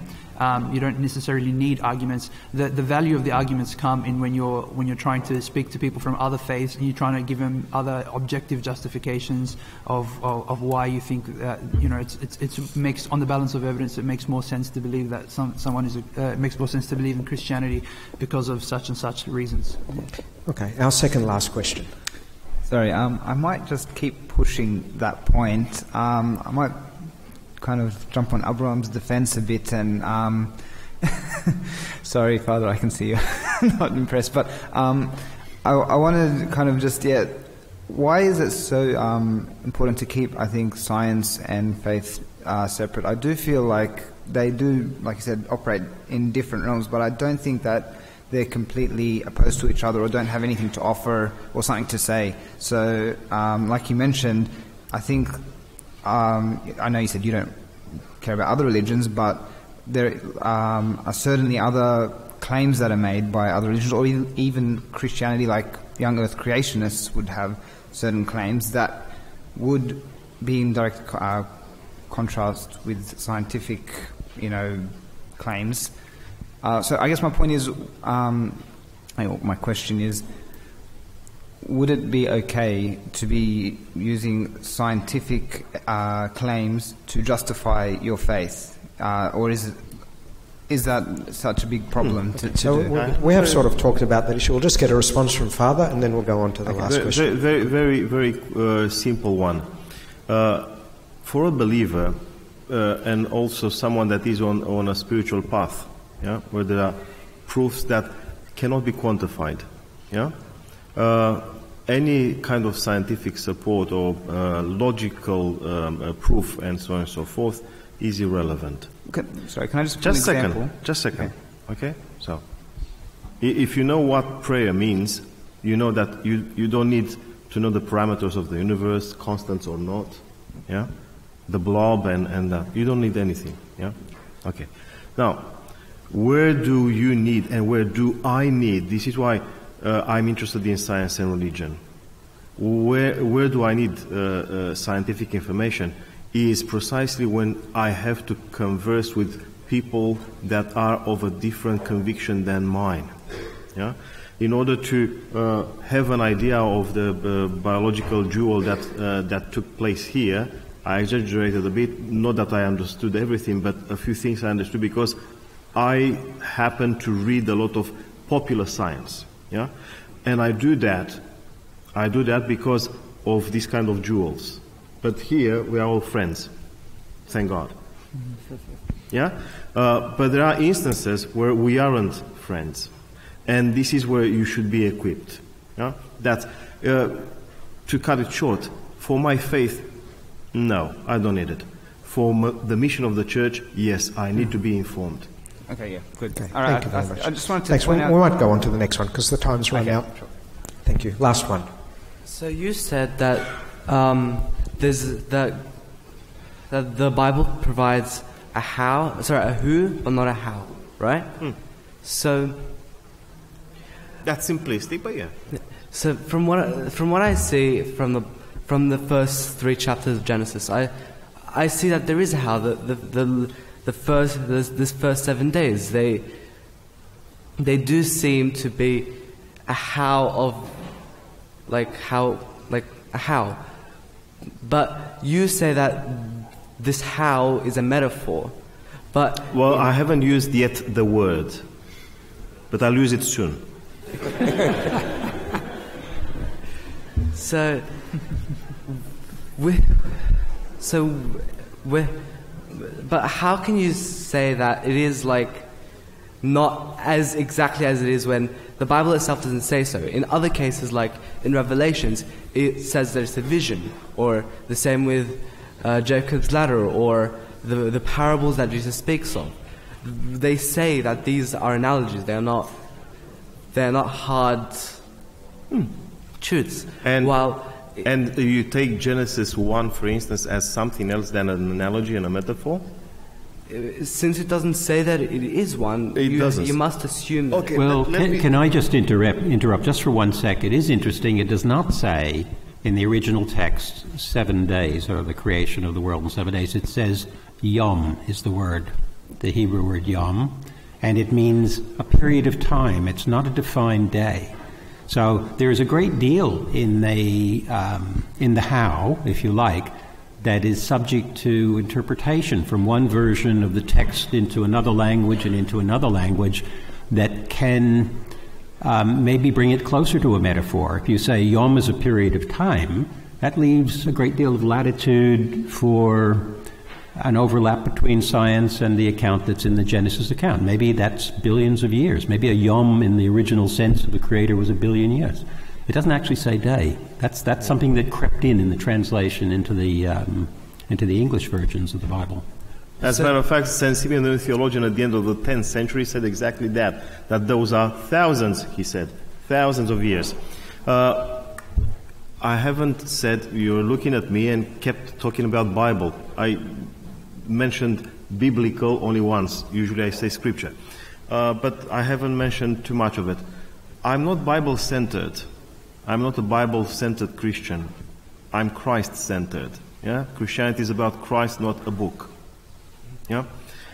How do you read Genesis 1 is very important. And Genesis 1, by the way, is not something that a novice in the faith reads, at least not without guidance. Yeah? One of those texts that cannot be read like Wikipedia. Um, so, have you looked at the structure of the text? That text is built not 1, comma 2, comma 3, comma 4, comma 5, and so on. It's built symmetrically 1, 4, 2, 5, 3, 6.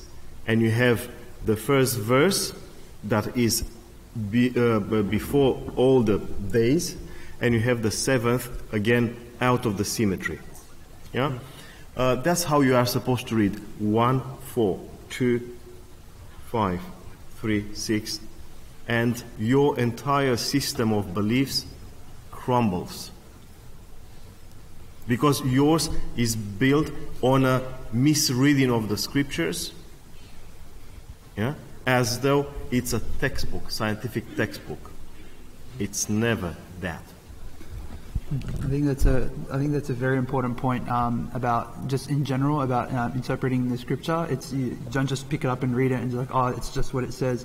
Um, it's important to use the um, what the fathers say in, in, about in how, how to interpret that scripture in its original context, in when it was written, and how all the styles that it's used. So if you just look at that table um, at the top there, it's, it's it talks about what Father was saying about how it's not it's broken up into like phrases.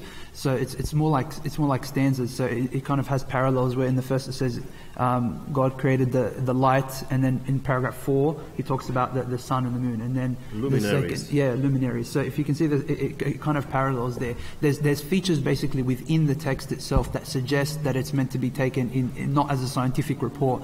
Um, it happened X Y Z. It's it's it's meant to describe God's um, creation of the world. Um, and, and, the message behind it is the fact that there is the creator and designer of the universe, as opposed to what other people were saying at that time, as that the earth itself was something to be worshipped and something to be created.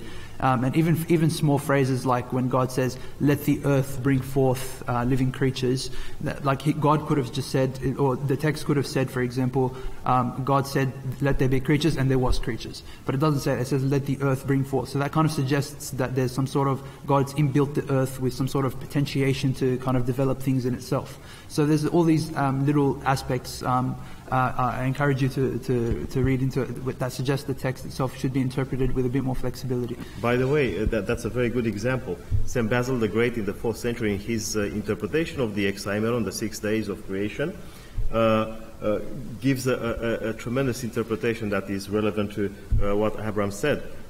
he says, That word of God runs, that's his verb, runs through creation from that day on till the end. So the same activity that uh, Genesis, one way or the other, uh, speaks about, the same activity is unfolding, ongoing. Speaking of till the end, I believe we've come to the end of our night. Um, it's been a fascinating discussion. I, I hope you've enjoyed the three very different perspectives that our panelists have represented tonight.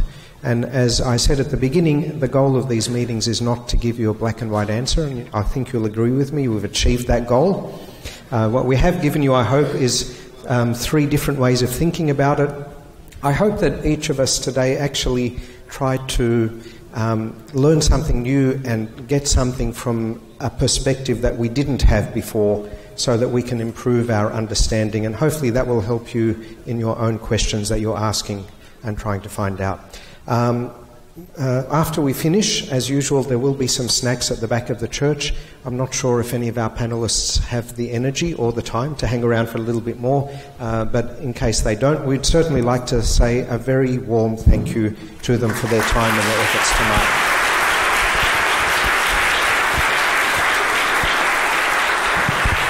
It's, it's been a pleasure.